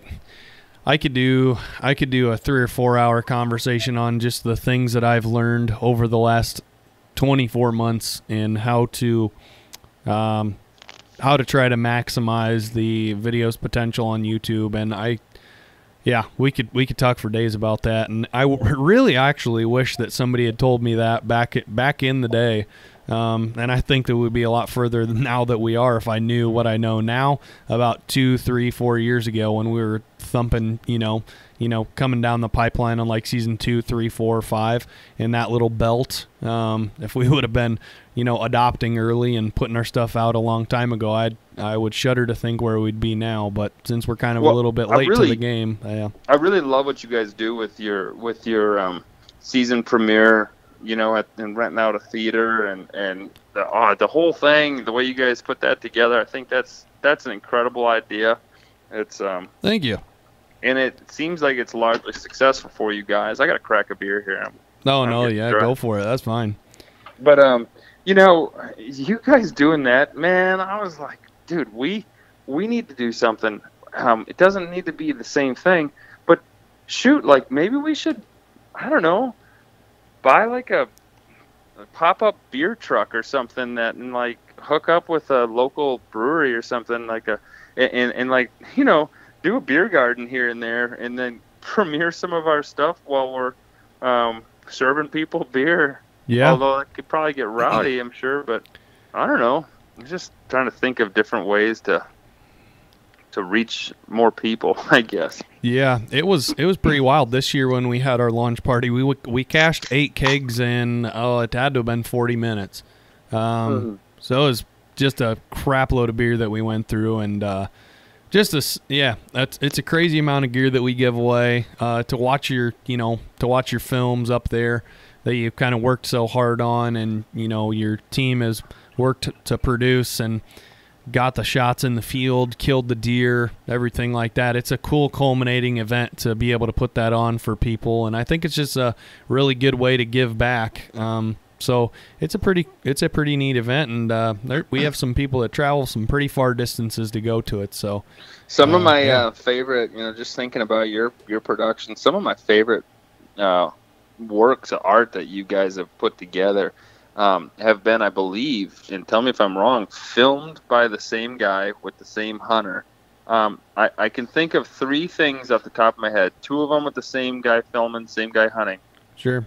Both deer drop tines. Yep. One on a one on a run, Yep. running like 12 yards or something down the edge of the field, drops in his tracks. That that is legend. That that clip. Um, it is to me Yeah. legendary. And and then the next one is that super drop. I don't know what it was like a 12 or 16 inch drop tine. It was something ridiculous off Yeah, his right si- side. 16. 16 inch drop tine. And that thing, that footage is immaculate. It's shot so well. The Yep. lighting, the color, every bit. I don't know if you did any color grading, but like whatever his settings were on the camera were dialed. Sure. Yeah, the focus was crystal. And then to get the, the he dumps right there on screen too, right? I mean, yeah. that, Yeah. the whole thing. yeah. And then the, the third one, I believe, was either you hunting and and Garrett was filming, or I don't know, but it was early morning, and I think he was 11 or a 12 pointer. It's a little bit foggy, real green field, yellow leaves, fall. It's a incredible early morning uh, setting where this deer is all bristled up and he comes walking like 15 yards out in the edge of the field on a uh, kind of on a diagonal towards the wood line. Yep. I don't know, was that you hunting or was that Yeah. you filming? Yeah, that was a, a buck we call Lucky. So, um, yeah, that was the one I ended up shooting. We actually had our decoy about 10 yards around the corner. That was the uh, that would have been the second deer that Garrett and I killed with a decoy. Um, and then over the course of the last two years, we've killed another three with the decoy, including his deer, which is, I guess, I would call it the headliner of our season, uh, season seven that we'll be dropping this fall. So. Um, Yeah. We've been pretty successful with the decoy, and it, it's pretty cool to see those deer sidestep in, uh, posture up to the decoy, and come marching across an open field like that. So uh, that that's going to be pretty cool. See, I mean, not only are they all three of those are, are big bucks, but for me, what why they stand out in my mind is because the guy behind the camera freaking nailed all three of those scenes. Garrett nailed it when that one came out in the fog for you. Yep. Lucky. Mhm. The color, the whole like everything about that was like I had to watch it. Um, and then of course everybody wants to see drop tines get get killed because it's so cool and it's and Yep. it's like the unicorn, right? I mean, it's Yep. just a, it's so neat to see those deer, but it's one thing to get a, a, drop tine on film and get the kill on film. It's another thing when your your settings in your camera are dialed just to the nines and the audio is perfect. Yep. And that killer cameraman and hunter combination you got on your team, boy, those guys need a pat on the back because those those scenes that they they captured are just phenomenal. Like Yeah. phenomenal. Yeah, that's Matt and Jesse. I uh, I I can't remember. I was counting them up the other day. We're dropping a new series on our YouTube channel coming uh, coming this fall with uh, our best our best thirty buck kills, and uh, I believe since we started filming eight years ago, uh, that Matt and Jesse have killed. Uh, I think it's seventeen or eighteen bucks, Pope and Young. Um, two of three of them being Boone and Crockett on film together. So that's who laid down both of those drop tine episodes was Matt and Jesse. So, Man. And and so was yeah, it one they, of those guys? they're that, stone that, cold sons of bitchin' killers. Those two. Yeah, is it one of those guys that killed that late season buck out in that that that field that looked super cold? It was a great big buck. Man, Yep, that was that was Matt. season, right? Yep, that was in uh that was backside of season six, and uh, yeah, yeah, that was Matt. He's a uh, deer they called fade. So Jesse actually had to swing the camera over Matt's shoulder, and uh, it was a 52 yard shot.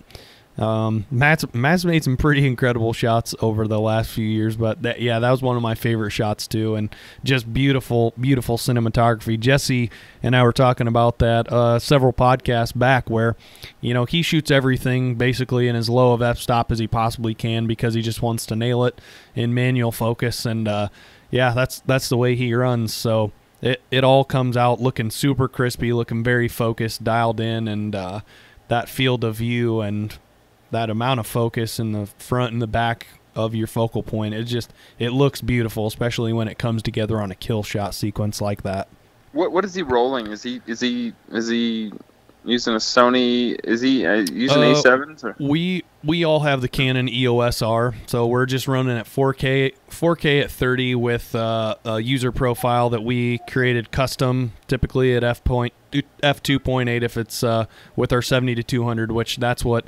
those That's- shots were. That's the lowest you can get on that one too, right? I mean, Yep. that's, I think that's the exact same. That's the lowest we can get on on for the Sony. Uh, Yep. Um. Yeah, I don't know, man. I, I just I've got a real soft spot for high quality uh, footage of deer hunts like that. I mean, Me too. if you can if you can tell a story and marry in some super high def quality like that, both sound, I mean, and visual, I don't know if anything ruins a good film more than bad audio. I mean, Yep. Really does. Yeah. You can have some seriously sick looking stuff, but if that sound is crap, I mean, nobody wants to sit through that. Um, So this is kind of funny. We uh we just we just finished up production. I said we. I guess I finished up editing season seven. Um, you know, several weeks ago, and uh, Matt and Jesse, the same pair that killed both of those drop tine bucks off the ground. Um, Jesse and Matt, they killed their seventh buck off the ground with a bow with no blind last year, last deer season, mhm. and so um, we called it Grounded 7.0, and so that the whole beginning of that episode features the kill shot sequences of all the six predecessing grounded bucks, and uh, I think that's that's my favorite episode that we put together from last season. Um, that one, and then obviously one of the deer Garrett killed last year called Crunch is about 23 inches wide and just a sick, Mm, just yeah. gnarly, big old five year old eight that we've been hunting and comes marching, sidestepping into the decoys. Very, very similar to that buck we call Lucky uh, that I killed three years ago. So yeah, it's yeah, I love that. we're real excited to unveil that season. So got a lot of good stuff.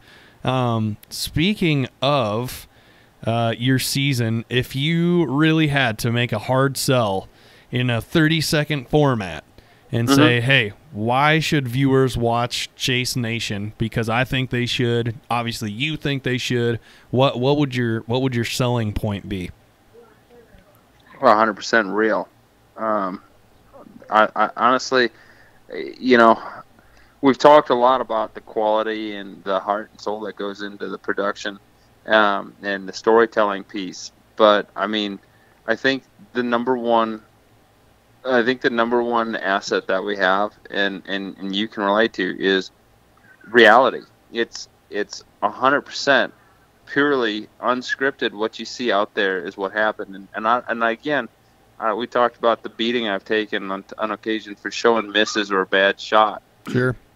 You know, um, not none of us, no matter how good we might be at something that we do, or or even some of our guys, no matter- how good you think you are, um, we're all out there learning, and none of the guys on my team, and I'm sure you can attest to it with yours, is that none of my guys ever profess to be professionals Sure. they just love what they do and they try to bring it to life in you know your home for you to watch it and experience it together. I mean that that to me um, is the selling point. It's it's real raw unscripted. And and you know i think as an editor one of the hardest things to do and i know jared scheffler can attest to this and, and, and he and i have been friends for a long time. I've learned a lot from him from whitetail adrenaline uh, is one of the hardest things as a video editor uh, is putting together unscript an unscripted format because you you nothing um, really goes together naturally. I mean, sometimes, I mean, when you watch it and it seems like oh everything flows together so well, the amount of time that it takes to piece that together and to find the perfect transition from one clip to the next and to make it a seamless storyline is extremely challenging. Um, but it's something that we strive to do with everything that we produce. Um, and and the, the number one priority for us is relatability. We want to make sure that we touch our audience so that they feel like they can relate directly to the way that things went down and shook out for us. because I think that if you can relate to it, if you can feel something, is one thing, uh, but if you can relate to it, it's it's in that same ballpark of just awesome, you know, awesomeness, and and and people tend to really favor uh, when they can you know see themselves in that position or like you know almost feel the wind if it's a real windy day they can almost feel it kissing them on the cheek you know that that the cold in the air. They can almost feel the, the, the tips of their nose getting cold just watching it. And you know uh, if you're walking through some muck to try to get to a, a hard spot you know and you're you're struggling and suffering through some bullshit they can feel the strain in their legs. Just thinking about it they could smell the muck in the air and they're sitting in their living room. You know that's mm-hmm. the kind of thing. I mean shoot we had one episode I know I'm going off uh, deep end, and you asked me for for one short 30 second thing, but I gotta say one more thing. No, you're we good. Had a, we gutted a deer. Uh, Nate Hoffman, the guy who who double fisted the the bottlenecks uh, yep. of those the jacked young guns. Yep. Yeah, he he he he arrowed this big old son of a bitch, and he uh, he gutted the thing out, and um, you know, obviously blood all over his hands, and uh, he's now he's got to get his hands on the steering wheel to drive. So he didn't have any water left. It was a long day, but we, he did have some warm Busch Lights, and uh, so he cracked open a beer, and, and we filmed that too. You know, we filmed him washing his hands with warm Busch Light right out of the can at the back of the truck. I mean that you got to do what real. you got to do. That's that's freaking real, man. You know, like that's the kind Yeah. of stuff, and nobody nobody's uh, trying to hide anything, and and um, and that's relatability. So. I like it. So uh, that was that was a great just overall discussion on production, Chase Nation, what values you value as a as a producer, as an editor, as a storyteller, and I think he covered all these topics really really well. So now that we're finished up with that, I got about six more questions for you. we jump off the phone here, and they're all would Okay. you rather questions in some regard or another. So, Okay. question number one, maybe the most important of the list: Taco Bell or McDonald's? Mmm, Taco Bell. Oh, that a boy. I was glad you said that. Damn, I just love Taco Bell. There's got to be. it's killing me so slowly, but fuck, it's good. Um, would you rather, Sam, shoot a 160 class whitetail or a 90 inch antelope? 90 inch antelope is a damn big antelope. I'm obsessed with whitetails. I don't care how big the antelope is. Okay, so you're taking the white. Uh, you're taking the all, all whitetail day, all day long. all all day long. All right, this is going to be a tough one for you because you haven't talked about this yet, but this is a fact that I know about you. Um, you are a big fisherman as well. Um, talking about muskie, correct? Yeah, yeah, big time. So, would you rather catch a muskie or a tarpon? Oh, muskie uh, in a heartbeat. I mean, those tarpon are super spectacular. They're huge and they're beautiful, but I am obsessed with muskies. And you know what? I've been fishing my whole life. I love it to death. Uh, I can clean a fish better than a lot of uh, sous chefs out there. But I hate the smell of fish, but I love the smell of muskie. Interesting. There's a there's a big difference between the scent of a muskie and the scent of you know any other fish. Oh yeah, there's a distinct difference in the smell I'll of a muskie. It's, it's got its own slimy smell to it. It's very very distinguishable, um, and it, and it's not just it's not that I like the aroma because I like I want to smell it. It's Mhm. because I like I think about it so much and so invested into it. you know what I mean? Yeah. Okay. I did not know that. Um, how about Maine or Florida? Which one of those states would you rather deer hunt in? Uh, I've been to both, and I love the hell out of Maine. And whether it's deer hunting or not, Maine, Maine, Maine, all day long. I love the East Coast. I love lobster. I love eating lobster rolls. I love Ooh, the, yeah. see those boats and those those floating piers that go up and down with the tide. I think the whole scene there is incredible. Okay. Uh, how about this one? A 140 class, a 140 class mainframe deer with a 10 inch drop, or a 160 class with a 4 inch drop. I'll take that 10 inch drop. Okay, fair enough. Score, score, score means little to me. It, I mean, Fair enough. yeah, it's cool when when a deer fetches a score. Sure. But uh, but I mean, shoot, I, I had a I had a lot bigger deer in the 190 caliber right around the corner. I had access to um, last season, hmm and I much preferred. Uh, I mean, I shouldn't say much preferred, but I was not batting an eye at loosing an arrow at that 130 inch mainframe seven with the you know five and a half inch drop and another one sprouting up the other side. I thought that was the coolest thing ever. Oh yeah, absolutely. Um, another one. What's your electric chair meal, Sam?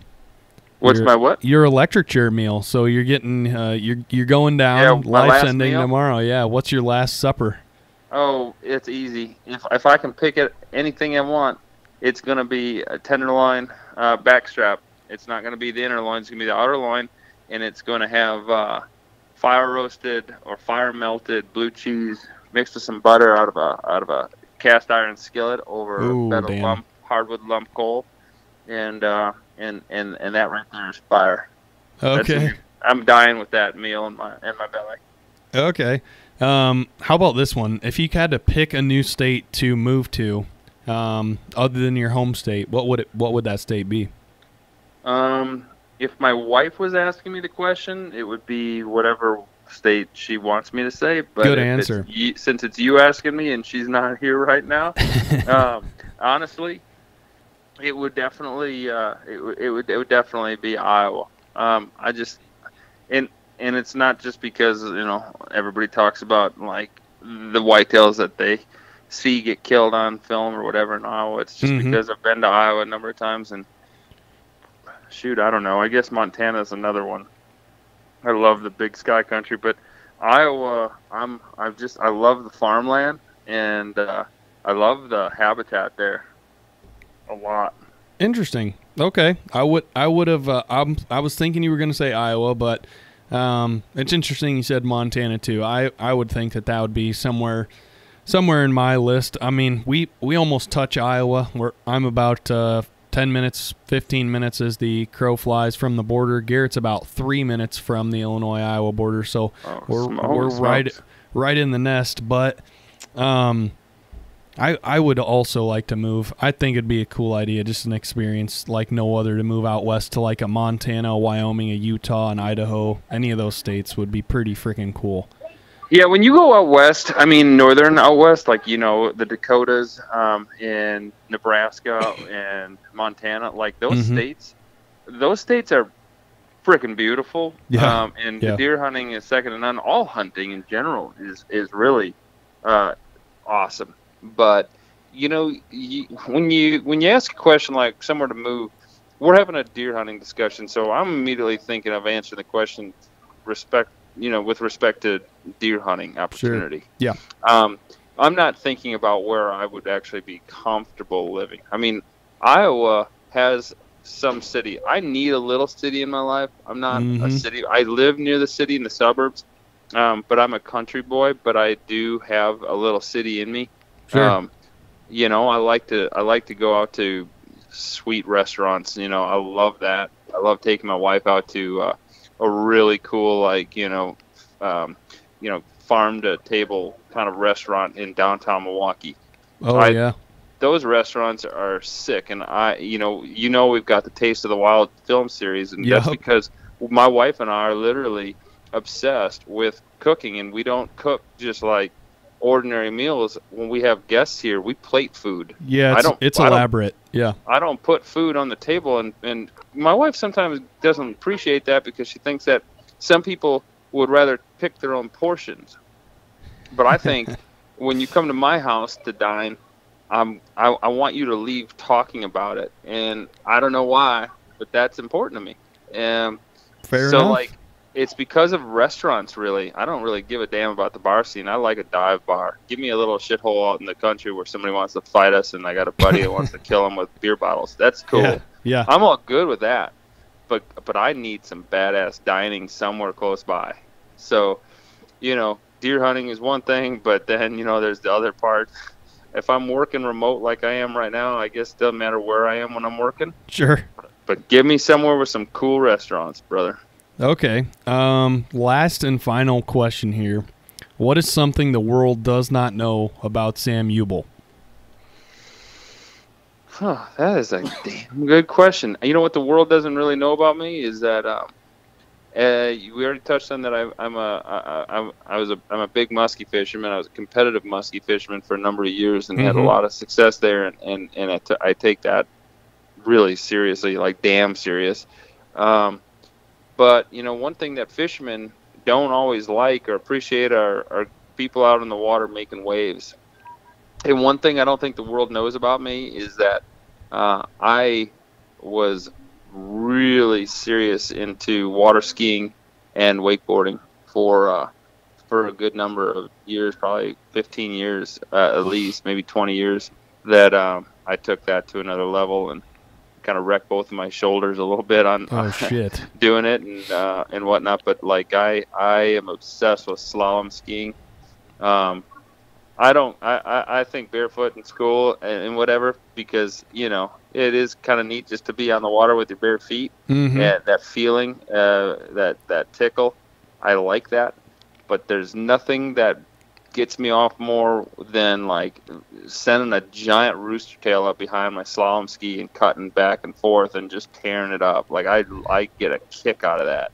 And then and I love wakeboarding too. Like I love just flying through the air. I mean, I I just I just I love it. So that's something that I don't ever talk about. I never tell people that. And I used to male model. How about that? No way. yeah. Holy shit. I would so- not have yeah, I wouldn't have guessed that, but okay. Yeah, that's another thing that nobody knows anything about. I don't I don't tell anybody about that, but I did that for a good decade. Uh, Back, Whoa. back when I was in my uh, I was like 18 to about uh, 20 28 or 29 years old. I'll be damn. I did yeah, I sure shit I did not know that whatsoever. Actually, I think I started when I was about 17, but yeah, editorial stuff and some commercial ads, but I did a lot of editorial uh, stuff, which is you know like the the strike a pose, you know, the blue steel faces. yeah, and then there was like the Boston store and the Younkers and the Kohl's catalogs, but shoot, yeah, I did a lot of a lot of that back in the day, and then I started losing my hair and getting old. and things went Uh, downhill. Yeah, I don't know. My wife says I get better looking with age, and all I see is like I get this like pelican gullet going on, and uh, and losing my hair, and I'm like, shoot, I don't I don't see it, but whatever, babe. Thanks for making me feel better. I guess. You're making me feel pretty, honey. Thank you. yeah, yeah, that's another thing. So Alrighty. Well, we uh we turned this puppy into a good good conversation and uh I really appreciate you carving out the time. Uh, I know it gets hectic, especially with your Chase Nation schedule, with your work schedule, with the fact that you're married with kids. I, so I do appreciate you carving out your time to tell me about Chase Nation, some of your philosophies on production. Uh, I feel like the listeners really got a good chance to get inside your head with this one, and uh, that was kind of the reason why I sent that message out to uh, you, Alex Nadolski, and Max Mongrello, just because I consider you three my favorite uh, digital productions that I watch religiously obviously i'm a big fan of like a heartland bow hunter. I'm a big Driven fan. Who doesn't like watching the crush and the Drurys? Uh, i really like jason matzinger too. Those are great traditional shows that i follow you know on traditional media. Uh, but digitally i i'm a, just a big fan of chase nation the rise and uh, midwest whitetail. So i wanted to have you on here and i'm glad that you accepted and uh, gave us all this great information. So um, good luck this deer season. And uh, you got anything else to say before we uh, hop off the phone here? Well, two things. I've had both my kids pretty much strapped to my leg about the whole time we've been on the phone, so hopefully they weren't too noisy in second. Um, I sure appreciate anybody that's actually listened through this whole thing and listened to listened to us BS uh, back and forth and, and whatnot. I, I uh, I'm always uh, I feel privileged to be invited to to do something like this and to have a chance to have a voice. So thanks for having me on the show and. Um, yeah, hopefully there's at least one nugget of gold somebody can put in the back pocket and take away from it all.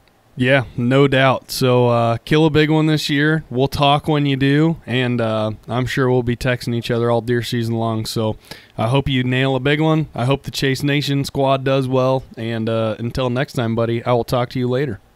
My man, talk to you later. All right, thanks, Sam. Bye. See ya. There you have it. The ramblings of two producers in the outdoors one with way more experience that would be sam. And uh, I, I feel like you guys got to know him quite a bit better. Got some pretty cool stories out of him and uh, he's got some pretty interesting takes, and I did really not honestly know that uh, he did a couple of those things in his in his past life. That male model thing kind of took me off guard, but uh, you guys should look Sam up. Check out Chase Nation, and uh, I feel like you're going to really like what you see. Check out that Taste of the Wild series. That's awesome. Is uh, Campfire Story series. Uh, they just do a great job of storytelling on their channel. So, again, that's called Chase Nation. A couple of announcements before we wrap up here. Our season 7 trailer is going to drop on Wednesday, September 1st on YouTube at 7 p.m. Central Standard Time. On Saturdays and Wednesdays this week, we, excuse me, this year, we're going to be launching our new full length episodes. Our elk film is going to be coming out on Saturday, September 18th. As always, you can watch a new YTL Legacy podcast every Monday on our channel. Tuesday, our video podcast is dropping. Wednesday, our Last Breath Live videos will be dropping, especially when the season comes rolling down the pipe here soon, because we've got about a month left before season. And uh, we just wanted to thank you guys again for listening to the Last Breath Huntcast. Big shout out to Ch- Sam Ubl and the Chase Nation squad as a whole in this episode 113 when we got to pick his brain, talk to him, learn about him.